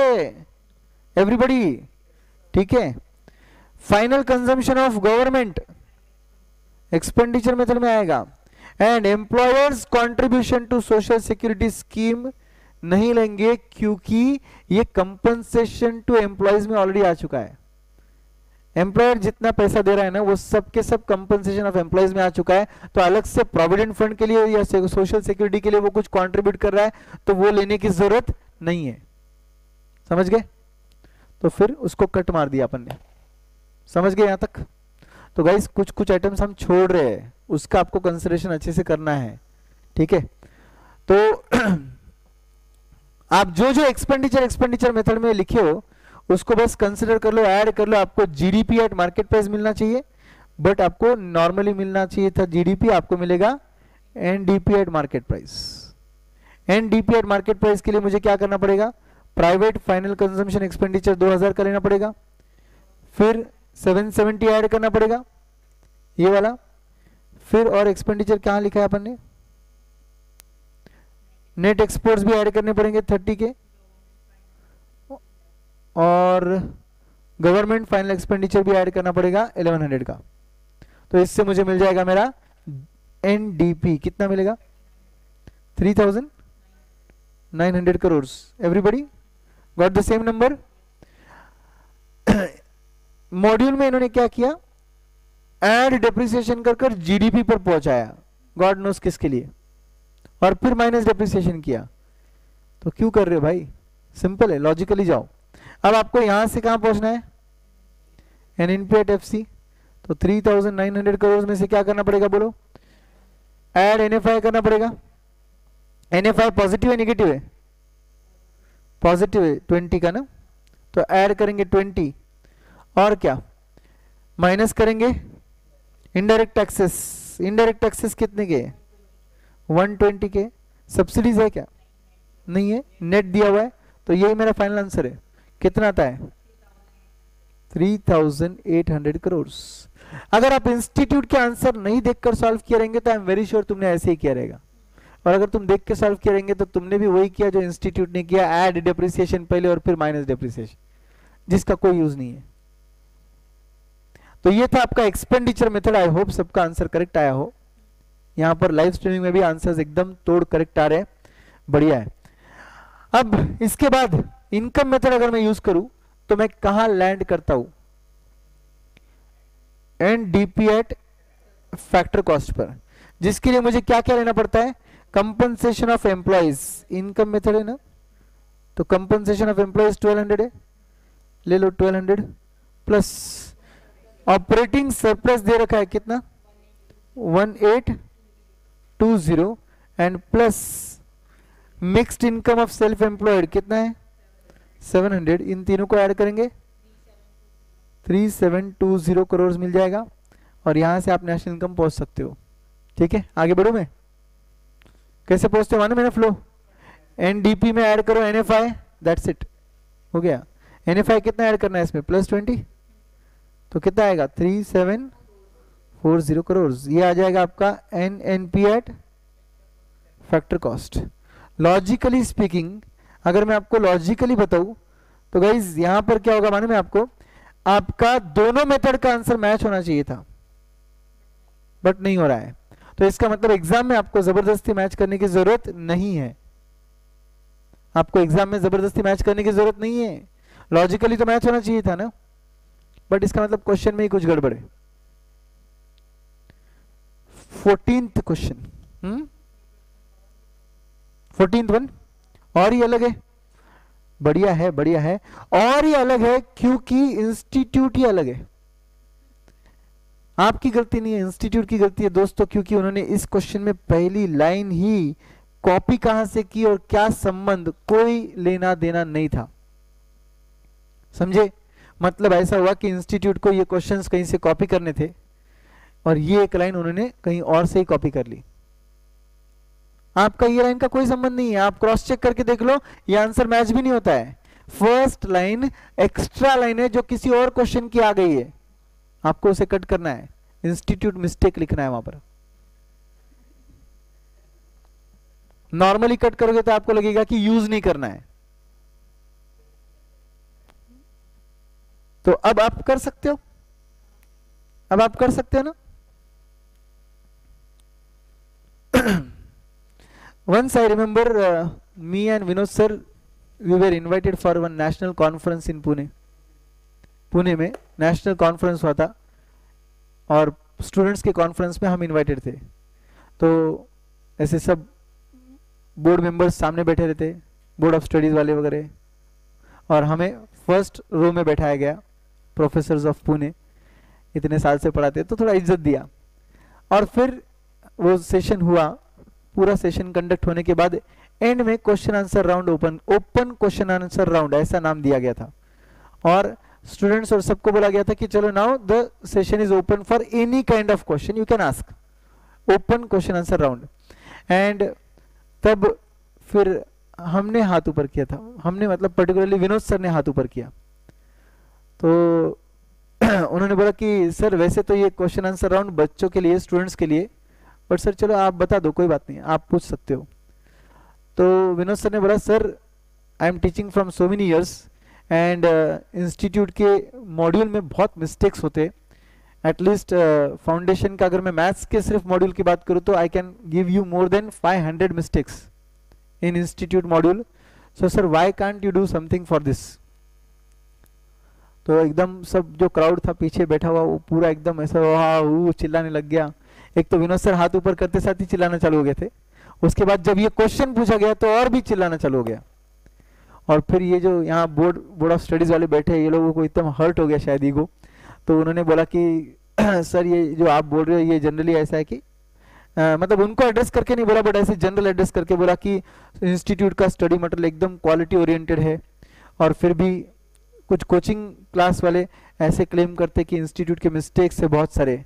शायद उनकी कोचिंग के ब्रांड को वो बढ़ाने के लिए इंस्टीट्यूट को ऐसा कम दिखाते हैं। ऐसा डायरेक्टली ओपनली बोल रहे हैं सर को। और फिर बोले कि सर आप, हमें एक मिस्टेक बता दो। और वो एक मिस्टेक के बदले में इंस्टीट्यूट ओपन रेमुनरेशन रखता है फाइव हंड्रेड रुपीज़ का। तो अगर आप 500 हंड्रेड मतलब मिस्टेक्स बताओगे तो इनटू 500 करके आपको रेमुनरेशन मिल जाएगा। Sir please convey the mistakes to ICI तो विनोद सर बोले कि सर आप आपको मैं बताऊँ, कम से कम मैंने 10 से 12 मेल लिखे रहेंगे, जिसका एक भी रिप्लाई नहीं आया आज तक। तो अगर आप फिर भी आज बोलते हो तो मैं आज शाम में भी मेल करने को तैयार हूँ। बट सर फ्रेंकली स्पीकिंग कोई रिप्लाई नहीं आता है।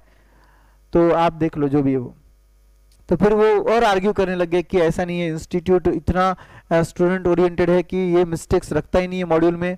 और इनफैक्ट आपको पता भी है क्या कि इंस्टीट्यूट जब एग्ज़ाम लेता है और एक आधा क्वेश्चन अगर स्टूडेंट करेक्ट नहीं सॉल्व करता है बहुत से स्टूडेंट्स यू नो ये एक क्वेश्चन बहुत गलत सॉल्व किए तो इंस्टीट्यूट दो तीन एग्ज़ाम बाद उसे रिपीट करता है, ताकि स्टूडेंट्स को उसकी प्रैक्टिस हो, उस टाइप के क्वेश्चंस की प्रैक्टिस हो।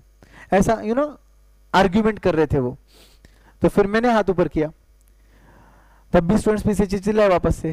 और फिर मैंने बोला, सर यू जस्ट टोल्ड कि you repeat the question for students practice because students correct solve नहीं करते. So good sir you take care so much about students but sir I would like to point out here also that next time जब question repeat होता है ना तो sir unfortunately उस next question का logic ही अलग रहता है। फ़र्स्ट टाइम जब तुम क्वेश्चन सॉल्व करके स्टूडेंट्स को मॉडल आंसर देते हो, और सेकेंड टाइम जब रिपीट होता है, तब सेम क्वेश्चन डिफरेंट नंबर्स के साथ रिपीट होता है, और आपका दूसरा क्वेश्चन का लॉजिक ही कुछ और रहता है। तो वो फिर मुझे बताने लग गए सर दैट इज़ बिकॉज़ अगर एक क्वेश्चन दो मेथड से सॉल्व होता है तो दूसरा मेथड हम बताते हैं. तो मैंने बोला सर कम से कम एक नोट तो लिख दो कि this question can be solve by this method also alternatively it can be solve by this method also जब तुम स्टूडेंट से एग्ज़ाम में एक्सपेक्ट करते हो नोट्स लिखे जाए अजम्पशन लिखे जाए तो इंस्टीट्यूट के मॉडल आंसर में भी वो लिखे जाने चाहिए। तो ये बोलने के बाद में और स्टूडेंट्स चिल्लाने लग गए, सब हो गया। फिर ये लोग बोले कि सर ये एनी वे स्टूडेंट्स राउंड है और अपन एक काम करते हैं इस सेशन के बाद वन टू वन मिलकर बात कर लेंगे सर और ऐसा बोलकर वो डिस्कशन वहाँ पे क्लोज किया गया। हम क्यों क्वेश्चन पूछे उसका भी रीजन था। जब ये सेशन ओपन हुआ था ना राउंड के लिए ओपन क्वेश्चन राउंड के लिए तब सपोज़ ये उठती है अभी नेहा नेहा ना? तो नेहा पूछती है आ, सर वन क्वेश्चन तो ये जो बोर्ड मेंबर्स बैठे डायस पे ये बोल रहे हैं यस व्हाट्स योर नेम वो हैरान हो गई। वो नाम बता रही नेहा। हाँ W R O number your registration number तो फिर डब्ल्यू आर नंबर बोली बेचारी ने। फिर वो बोले now tell your question now you can ask your question अब मुझे बताओ इंस्टीट्यूट के board members board of studies वाले बैठे हैं और वो तुम्हें क्वेश्चन आंसर राउंड पूछ रहे हैं और उसमें वो तुम्हें पहले नाम पूछेंगे डब्ल्यू आर नंबर पूछेंगे, फिर तुम जेन्यून क्वेश्चन पूछोगे क्या उनको? बस तुम बोलोगे हाँ sir where can I get library facility ऐसे कुछ और क्वेश्चन जनरल क्वेश्चन पूछ के बैठ जाओगे। तुम्हें अगर जेन्यून डाउट्स है, तुम उसको डब्ल्यू आर नंबर मत पूछो ना। उसे इसका नाम मत पूछो डायरेक्ट क्वेश्चन पूछने दो। क्या प्रॉब्लम है? तो वो स्टूडेंट्स के क्वेश्चंस बराबर आ ही नहीं रहे थे जब ये नाम और डब्ल्यू आर नंबर पूछा गया। तो हमने बोला कि ठीक है यार, हमको क्या पूछेंगे? ज़्यादा से ज़्यादा मेंबरशिप नंबर पूछेंगे। और क्या पूछेंगे? और वो मेंबरशिप तो वैसे भी दे दिए। अब तो देख के वो रिवोक नहीं कर सकते। और कर भी दिया तो हमको फ़र्क नहीं गिरेगा। है ना? तो इसलिए हमने स्टूडेंट्स के बिहाफ पे कुछ क्वेश्चन पूछे बट जिसका एकदम ज़बरदस्त आंसर मिला हमको, और आपके सामने बहुत से प्रूफ है ऐसे। इंस्टीट्यूट का मटेरियल, क्वालिटी ओरिएंटेड मटेरियल, ये लाइन कट कर दो, ठीक है? चलो, अब बताओ मुझे कि ये लोग क्या पूछ रहे हैं इस क्वेश्चन में? जीडीपी एट फैक्टर कॉस्ट निकालना है आपको। And GDP at market price निकालना है। कोई बड़ी बात नहीं है, एक बार फैक्टर कॉस्ट या मार्केट प्राइस आ जाएगा तो दोनों का डिफरेंस नेट इनडायरेक्ट टैक्सेस ही है। नेट एक्सपोर्ट्स निगेटिव है दोस्तों। तो ऐड नहीं होंगे लेस होंगे, ठीक है? Compensation of employees rent interest profit net indirect taxes net domestic capital formation फिर से क्या दिया है? नेट एंड नीचे दिया ग्रॉस डोमेस्टिक कैपिटल फॉर्मेशन ओ भाई साहब। इसका मतलब क्या करना पड़ेगा? दोनों का डिफरेंस सौ रुपए इज़ डिप्रिसिएशन वैसे तो ये क्वेश्चन इनकम मेथड पर बेस्ड है। मगर ये इंफॉर्मेशन एक्सपेंडिचर मेथड का है, जिसके मदद के थ्रू आपको डिप्रिसिएशन मिलेगा। समझे? तो पहले इस क्वेश्चन में आपको लिखना चाहिए depreciation is equal to gross minus net करके सौ रुपए का आंसर और फिर आपको आपके इनकम मेथड से उसको सॉल्व करना पड़ेगा। इनकम मेथड से जब सॉल्व करते हो तो आप कहाँ अराइव करते हो? एनडीपी पर अराइव करते हो factor cost so NDP at factor cost पे अराइव करोगे आप। कंपनसेशन ऑफ़ एम्प्लॉयज़ लेना पड़ेगा। थ्री थाउज़ेंड का। Plus rent plus interest plus profit लेना पड़ेगा। 800 900 एंड 1300 ये सब लेने के बाद आपको क्या मिलेगा? एनडीपी एट फैक्टर कॉस्ट मिल जाएगा। कितना? सिक्स थाउज़ेंड करोड़ एक बार ये मिल गया। तो आपको जो पूछा है उस पर चले जाओ, आप इजीली आ जाओगे आप। जीडीपी एट एफ़ सी पूछना है ना? तो क्या करना पड़ेगा? सिक्स थाउज़ेंड करोड़ में प्लस हंड्रेड का डिप्रिसिएशन ऐड करके six thousand one hundred crore का आंसर आ जाएगा इधर। और इसके लिए क्या करना पड़ेगा? ये six thousand one hundred crore में minus sorry add indirect taxes less subsidy तो यहाँ पर इनडायरेक्ट टैक्सेस एंड सब्सिडी का इंपैक्ट लेकर आंसर कितना? 6100 प्लस 300 और सब्सिडी नहीं है? नहीं है. नेट ही दिया है. ठीक है. तो फिर answer 6400 crore was this hard no only first line was wrong ठीक है. Now coming coming to 15th question, I think, last okay. Okay calculate NNP at factor cost मतलब ही national income by expenditure method आप expenditure method normal use करते हो, आप कहाँ पहुँचते हो, वो लिख देना चाहिए जीवी एट मार्केट प्राइस पर पहुँचते हो, ठीक है? Everybody GV at market price पर पहुँचते हो आप। और यहाँ पर जो इंफॉर्मेशन दी है, उसमें आपको बस देखना है कि आप क्या क्या करने वाले हो। एग्ज़ाम में कुछ क्वेश्चंस के वर्डिंग्स बहुत अच्छे से पढ़ने पड़ते हैं आपको। यहाँ पर लिखा है नेट इंपोर्ट मतलब ये नंबर आपको ऐड नहीं करना है माइनस करना है। करेक्ट उसके अलावा आपको इनकम पेड टू अब्रॉड दिख रहा है क्या? मतलब ये एनएफआई निगेटिव है। ये एनएफआई निगेटिव है क्योंकि वर्डिंग क्या है? Income paid to abroad that's it I think very easy question expenditure method से सॉल्व करना है ना? बोलो, दस का अमाउंट ऐड करोगे? पाँच ऐड करोगे? पब्लिक एक्सपेंडिचर फिर gross domestic capital formation gross वाला नंबर दिया है जीवीए पर ही पहुँचने वाले आप डोंट वरी फिर उसके बाद चेंज इन स्टॉक क्या करना पड़ेगा? ऐड करना पड़ेगा? एंड एक्विजिशन का वैल्यू भी ऐड करना पड़ेगा। जितना भी वैल्यूएबल्स आप एक्वायर करते हो, आप उस पर खर्च कर रहे हो ना? तो वो वो भी ऐड करना पड़ेंगे आपको। नेट एक्विजिशन ऑफ़ वैल्यूएबल्स भी ऐड करना पड़ेगा। तो आपका जीवीए एट मार्केट प्राइस कितना आता है?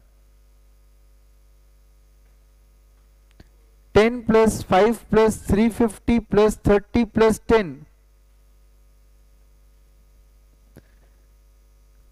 And minus twenty करना पड़ेगा ना? माइनस ट्वेंटी करना पड़ेगा, नहीं तो अदरवाइज़ नेट एक्सपोर्ट्स ऐड होते हैं। तो माइनस ट्वेंटी करना पड़ेगा। कितना आंसर आता है? थ्री एटी फाइव करोड़ क्या?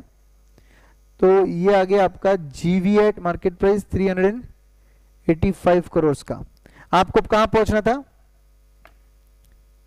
Yes Nidhi are right absolutely correct अब इसके बाद आपको पहुँचना था एनएनपी एट फैक्टर कॉस्ट इसके लिए आपको क्या करना पड़ेगा? 385 करोड़ में से माइनस करना पड़ेगा डेप्रिसिएशन बोलो डेप्रिसिएशन अमाउंट कितना है? 30 फिर आपको ऐड करना पड़ेगा एनएफआई बट एनएफआई निगेटिव है तो माइनस करना पड़ेगा कितना? 20 निगेटिव 20 है ना?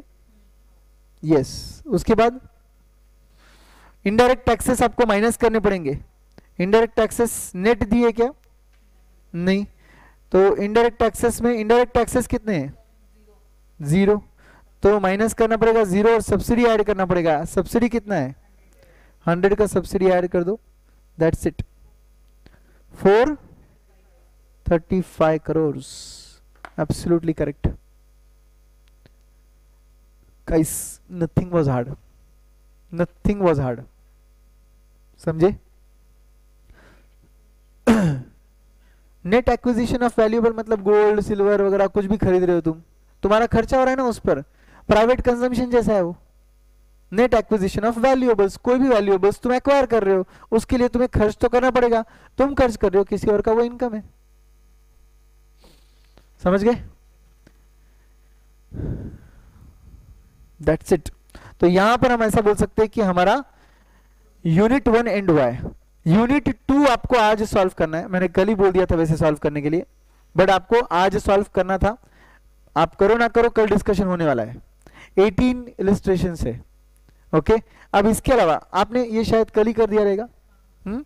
तो अब मैं आपको बोलता हूँ होमवर्क क्या रहेगा आपका। आपको वो 18 इलिस्ट्रेशन अगर आपने कर दिए रहेंगे तो आपको chapter two and chapter three के इलिस्ट्रेशन सॉल्व करने हैं। यूनिट वन टू थ्री जितने भी रहेंगे उसमें। क्यों मैं बोल रहा हूँ, एक साथ दोनों चैप्टर्स क्योंकि बहुत कम है। बहुत ही कम है। ठीक है?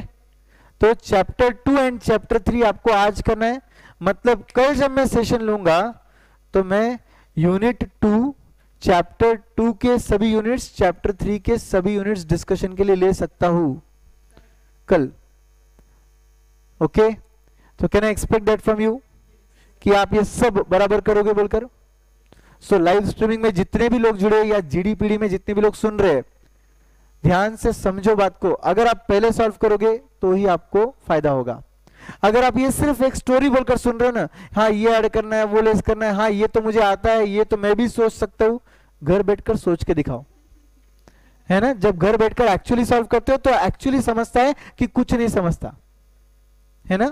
तो इसलिए I want you to face that difficulty level at home so that when you come here you get benefited कि कैसे सोचना चाहिए था और आपने क्या सोचा? ठीक है? तो चैप्टर टू चैप्टर थ्री ज़्यादा इलिस्ट्रेशन नहीं है, मत चिंता करो। इजी एकदम। पूरे चैप्टर टू में सभी यूनिट्स मिलकर तीन इलिस्ट्रेशन है ना? सभी यूनिट्स मिलकर तीन इलिस्ट्रेशन है। एंड चैप्टर थ्री में भी कोई बहुत बारी नहीं है। ये वो क्या वो एम वन एम टू वगैरह के कैलकुलेशन से यार, इतने इजी है। उसमें इलिस्ट्रेशन ज़्यादा है मुझे मालूम है। चैप्टर थ्री में इलिस्ट्रेशन ज़्यादा है मुझे मालूम है। आप कर लो मगर जो भी है। आपकी ज़िम्मेदारी। आपको चार्ट बुक रिवाइज नहीं करना है, आज मत करो। टेक्स्ट बुक पढ़ना नहीं है, मत पढ़ो। मगर आप ये सॉल्व ज़रूर करना। ठीक है? चैप्टर थ्री में चार ही है।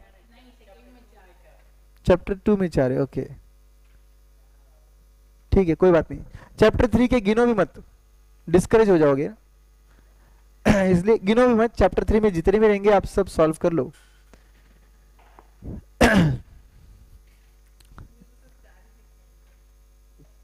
चैप्टर थ्री में भी चार ही है। बढ़िया है। कम दिखे तो अच्छा है, उतना मोटिवेटेड वे में तुम चालू कर दोगे। ठीक है? तो कोई बात नहीं। Chapter two and chapter three के इलिस्ट्रेशन आप सॉल्व कर लोगे। शायद कल हम लोग सभी इलिस्ट्रेशन डिस्कस कर लेंगे। ठीक है? अब हम जा रहे हमारे चार्ट बुक पर रिमेनिंग पोर्शन वो जो हमारा था, हमारा एक्सचेंज रेट वाला, वो डिस्कस करना है हमें। ऑलरेडी उसका डिस्कशन हमने कल स्टार्ट कर दिया था, अगर आपको याद होगा तो there are two types of exchange rates one is called as fixed the other is called as floating ये ऑलरेडी डिस्कशन हमारा शुरू हो चुका था। तो हम लोग आज का टाइम वेस्ट नहीं करते हुए आगे बढ़ रहे और हम रिमेनिंग टाइम में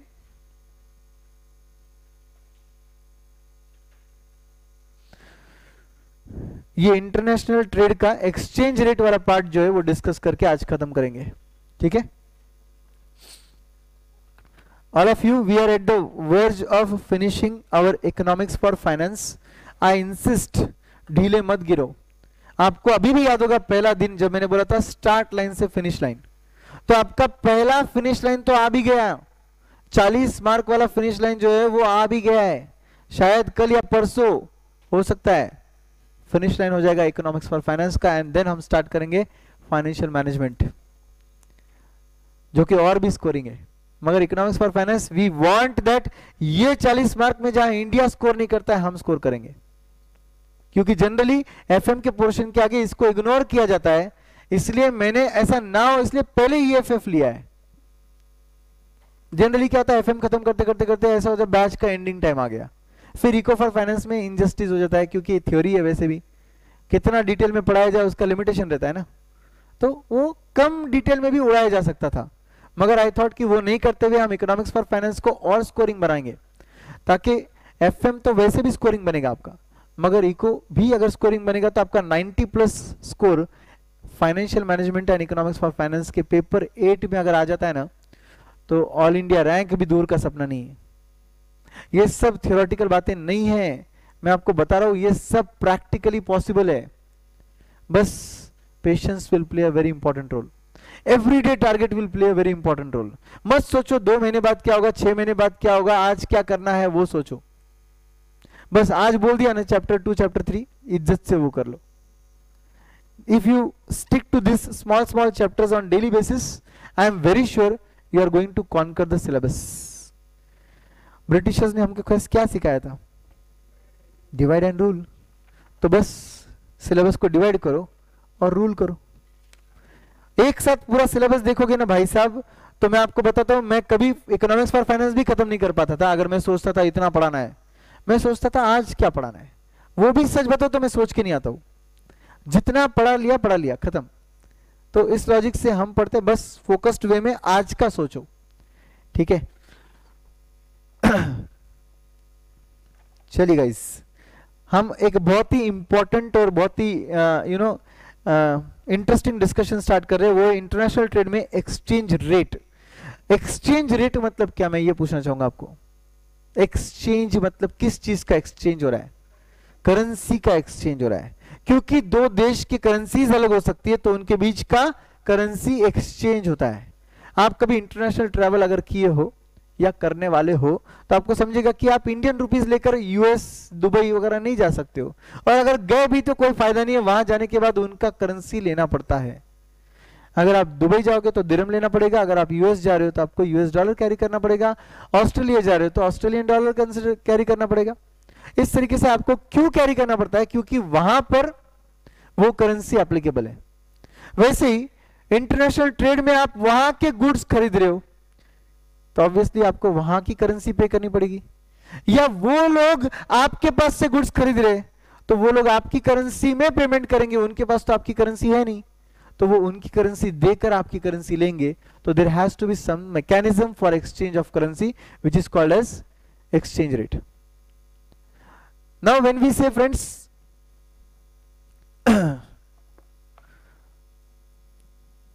one dollar is equal to 66 rupees. Example. One dollar is equal to suppose sixty six rupees तो ये इंडिया के एंगल से बन गया डायरेक्ट कोट करेंसी के कोट्स किस टाइप के होते हैं? एक्सचेंज रेट किस टाइप के होते हैं? दो टाइप के होते हैं। एक डायरेक्ट होते हैं और एक इनडायरेक्ट होता है। डायरेक्ट कोट क्या होता है? मैं आपको समझाता हूँ। आप इंडिया में हो। आपकी होम करेंसी कौन सी है? आईएनआर इंडियन रुपीस आपके लिए फॉरेन करेंसी कौन सी हो गई इस एग्जांपल में? डॉलर तो आप बोलोगे for one unit of foreign currency how many units of home currency क्या समझा? For one unit of foreign currency मतलब dollar how many units of home currency मतलब रुपीज़ कितना रुपया दू एक डॉलर के लिए is nothing but direct quote और इनडायरेक्ट कोट इज़ एग्जैक्टली उल्टा। For one unit of home currency one rupee how many units of foreign currency मतलब कितने डॉलर एक रुपए के लिए कितने डॉलर ये इनडायरेक्ट कोट है। Okay okay? यहाँ पे एक स्लाइट करेक्शन कर लो। अब इनडायरेक्ट कोट कैसे निकाला जाता है दोस्तों? Indirect quote is inverse of direct quote तो जब हम इनडायरेक्ट कोट बोलते हैं it is nothing but one by direct quote is indirect quote so one by sixty six करके आपको आंसर मिलेगा zero point zero one five one तो यहाँ पर एक ज़ीरो मिसिंग हो गया। But zero has value here क्योंकि गलत जगह का ज़ीरो मिस हुआ है ना? तो आप करेक्शन कर लो। Zero point zero one five one dollar for one rupee is an indirect quote is an indirect quote तो डायरेक्ट कोट इनडायरेक्ट कोट समझ गया? मुझे बोलो अभी। आप यूएस में हो, ठीक है? और आपको कोड दिया है dollar zero point zero one five one is per rupee तो ये आपके एंगल से कौन सा कोड है? अगर आप यूएस में हो तो ये कोड डायरेक्ट कोड बन गया आपके लिए। और यही अगर आप इंडिया में हो तो इनडायरेक्ट कोड बनेगा ना। सर डायरेक्ट कैसे बनेगा सर आप यूएसए में हो, आपका होम करेंसी कौन सा है? US dollars how many units of US dollar for one unit of rupee आपके लिए रूपी कौन सा करेंसी है? फॉरेन करेंसी अगर आप यूएस में हो तो। समझ गए क्या? चलो एग्जांपल चेंज करता हूँ मैं। आप यूएस में ही रहो। मगर अब कोड क्या दिया है suppose US dollar two per Australian dollar per Australian dollar to US dollar example है ये? रियल लाइफ में ये कोट नहीं है। मैं आपको ऐसी एग्ज़ाम्पल दे रहा हूँ। दो US dollar for every one Australian dollar now tell me you are in US which is this code for you this is direct code why direct code two US dollar मतलब home currency के units for one Australian dollar मतलब foreign currency का एक unit तो ये वापस से direct coat ही बन गया ना। बट अगर आप ऑस्ट्रेलिया में होते तो यही कोट इनडायरेक्ट बनता। आई होप यू अंडरस्टैंड एक कंट्री का डायरेक्ट कोट दूसरे कंट्री के एंगल से बन जाता है इनडायरेक्ट कोट ठीक है? नॉर्मली हम इंडिया में कौन सा कोट यूज़ करते हैं? Direct quote ten Indian rupees is equal to one Chinese yen ये क्या बन गया? इंडिया के एंगल से डायरेक्ट कोट क्योंकि टेन इंडियन रुपीज़ देंगे तो एक चाइनीज़ करेंसी मिलेगा। तो ये तो डायरेक्ट कोट हो गया। समझे? सब कुछ क्लियर है? Twenty rupees is equal to one dirham US के एंगल से क्या है? यूएस के एंगल से क्या है? ट्वेंटी रुपीज़ पर दिरम क्योंकि दुबई सॉरी दुबई दुबई के एंगल से क्या है? दुबई का करेंसी दिरम है। तो हम बोल रहे हैं ट्वेंटी रुपीज़ पर दिरम दुबई के एंगल से क्या बन गया? इनडायरेक्ट बन गया। क्यों इनडायरेक्ट बन गया? इंडियन रुपीज़ ट्वेंटी ये तो फॉरेन करेंसी हो गया उनके लिए। पर दिरम ये तो होम करेंसी हो गया उनके लिए। आप दुबई में हो, आपका करेंसी कौन सा है? दिरम है। और मैं कोड क्या बोल रहा हूँ आपको? रुपीज़ ट्वेंटी पर दिरम बोलो। आप दुबई में हो तो आपका करेंसी कौन सा है? होम करेंसी दिरम पर दिरम बोलते साथ ही समझ जाने का कि वो इनडायरेक्ट कोट हो गया। समझ गए? Understood how many units of foreign currency for one unit of domestic currency ये तो इनडायरेक्ट कोट हो गया ना फिर। करेक्ट इसको डायरेक्ट में कन्वर्ट करने के लिए क्या करना पड़ेगा? वन बाय ट्वेंटी करना पड़ेगा। वो डायरेक्ट बन जाएगा उनके एंगल से। अब आप इंडिया में हो और ये कोट इंडिया में दिख रहा है आपको। रुपीज़ ट्वेंटी पर दिरम ये कोट आपको इंडिया में दिख रहा है। तो इंडिया के एंगल से ये कोट बन गया। Direct quote because home currency के 20 यूनिट्स देंगे तो डोमेस्ट फॉरेन करेंसी का एक यूनिट मिलेगा। समझा? So I hope examples everything is clear direct quote indirect quote is clear you have written this one divided by direct is equal to indirect and obviously direct is nothing but one divided by indirect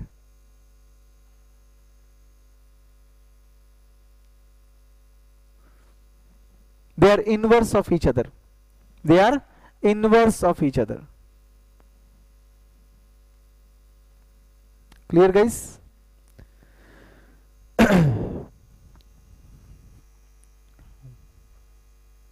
now friends ऐसा होता है कभी कभी कि मैं जा रहा हूँ बाली ठीक है और मुझे इंडिया में पर इंडोनेशियन रुपया इंडोनेशियन रुपया उधर का करेंसी है सपोज़ तो पर इंडोनेशियन रुपी कितने रुपीज़ इंडियन रुपीज़ देने, इसका कोट अवेलेबल नहीं है। समझे?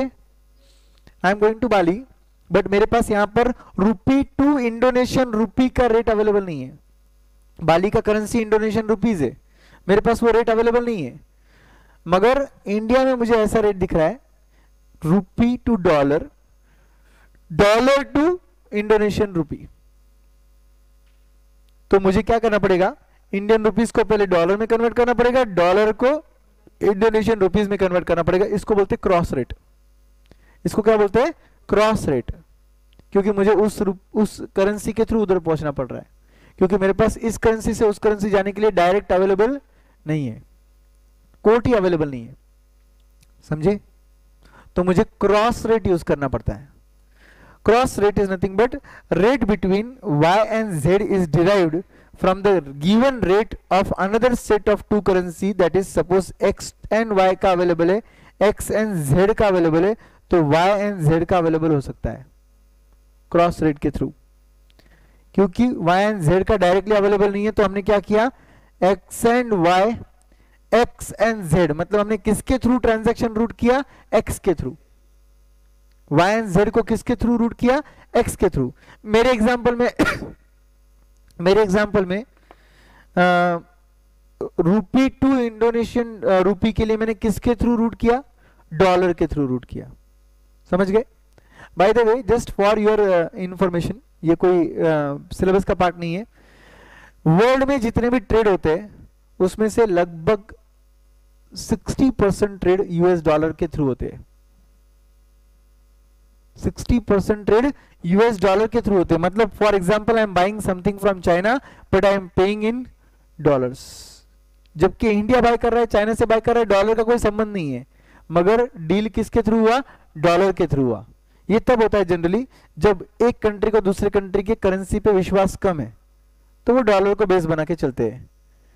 Dollar is considered to be most trustful trustworthy currency इस कंसेप्ट को बोलते हैं व्हीकल करेंसी क्या बोलते हैं इसे?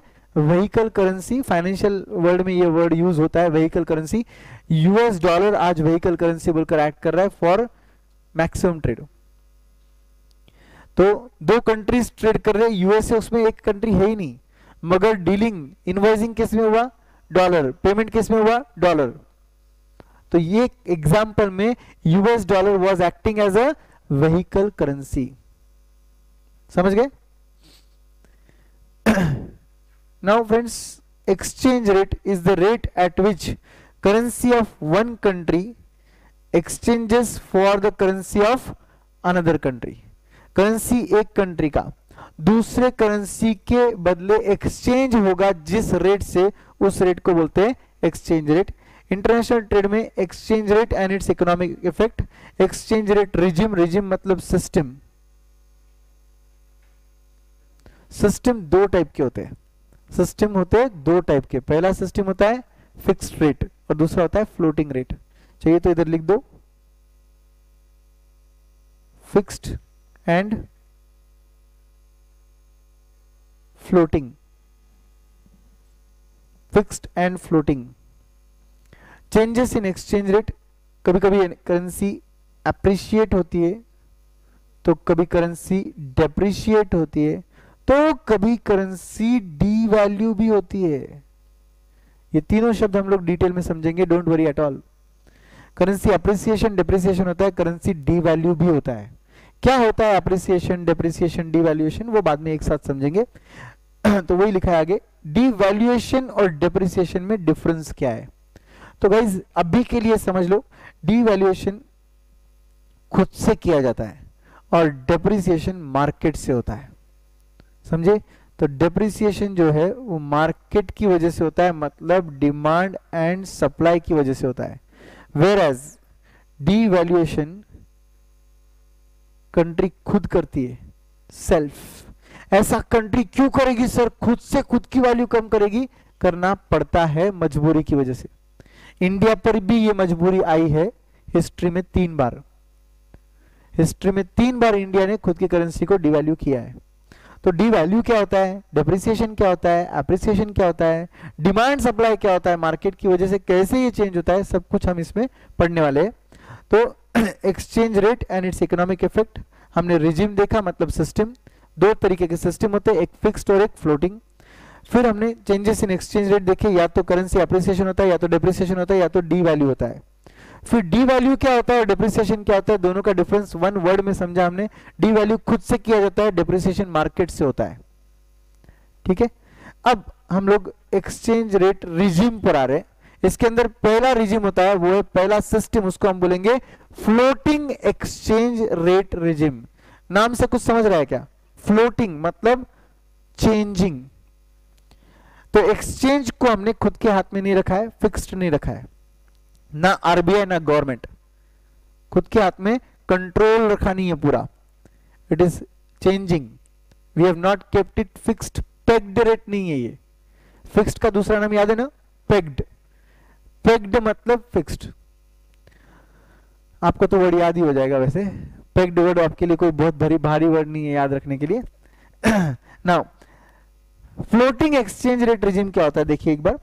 The equilibrium value of exchange rate of a country's currency is market determined मतलब determined by market demand for currency and supply for currency in relation with another currency determines the exchange rate मतलब India के मुकाबले US dollar का demand कैसे change हो रहा है?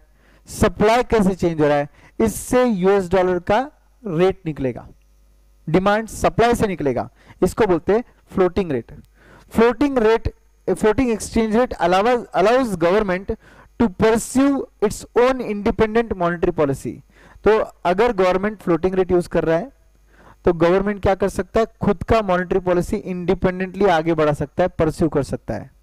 And there is no need of market intervention और maintenance of reserve तो ऐसे केस में गवर्नमेंट को कोई मार्केट इंटरवीन करने की ज़रूरत नहीं है मतलब डिमांड और सप्लाई के बीच घुसने की ज़रूरत नहीं है। मार्केट खुद डिसाइड कर रहा है क्या डिमांड रहेगा और क्या सप्लाई रहेगा। और उसको separately foreign exchange reserve maintain करने की ज़रूरत नहीं है, क्योंकि the exchange rate are market determined. अगर एक्सचेंज रेट मार्केट डिटरमाइन नहीं रहेंगे, फिक्स्ड रहेंगे तो आपको फॉरेन एक्सचेंज रिज़र्व मेंटेन करने पड़ते हैं। बट इस केस में क्या हो जाता है? एक्सचेंज रेट आपके वोलाटाइल हो जाते हैं।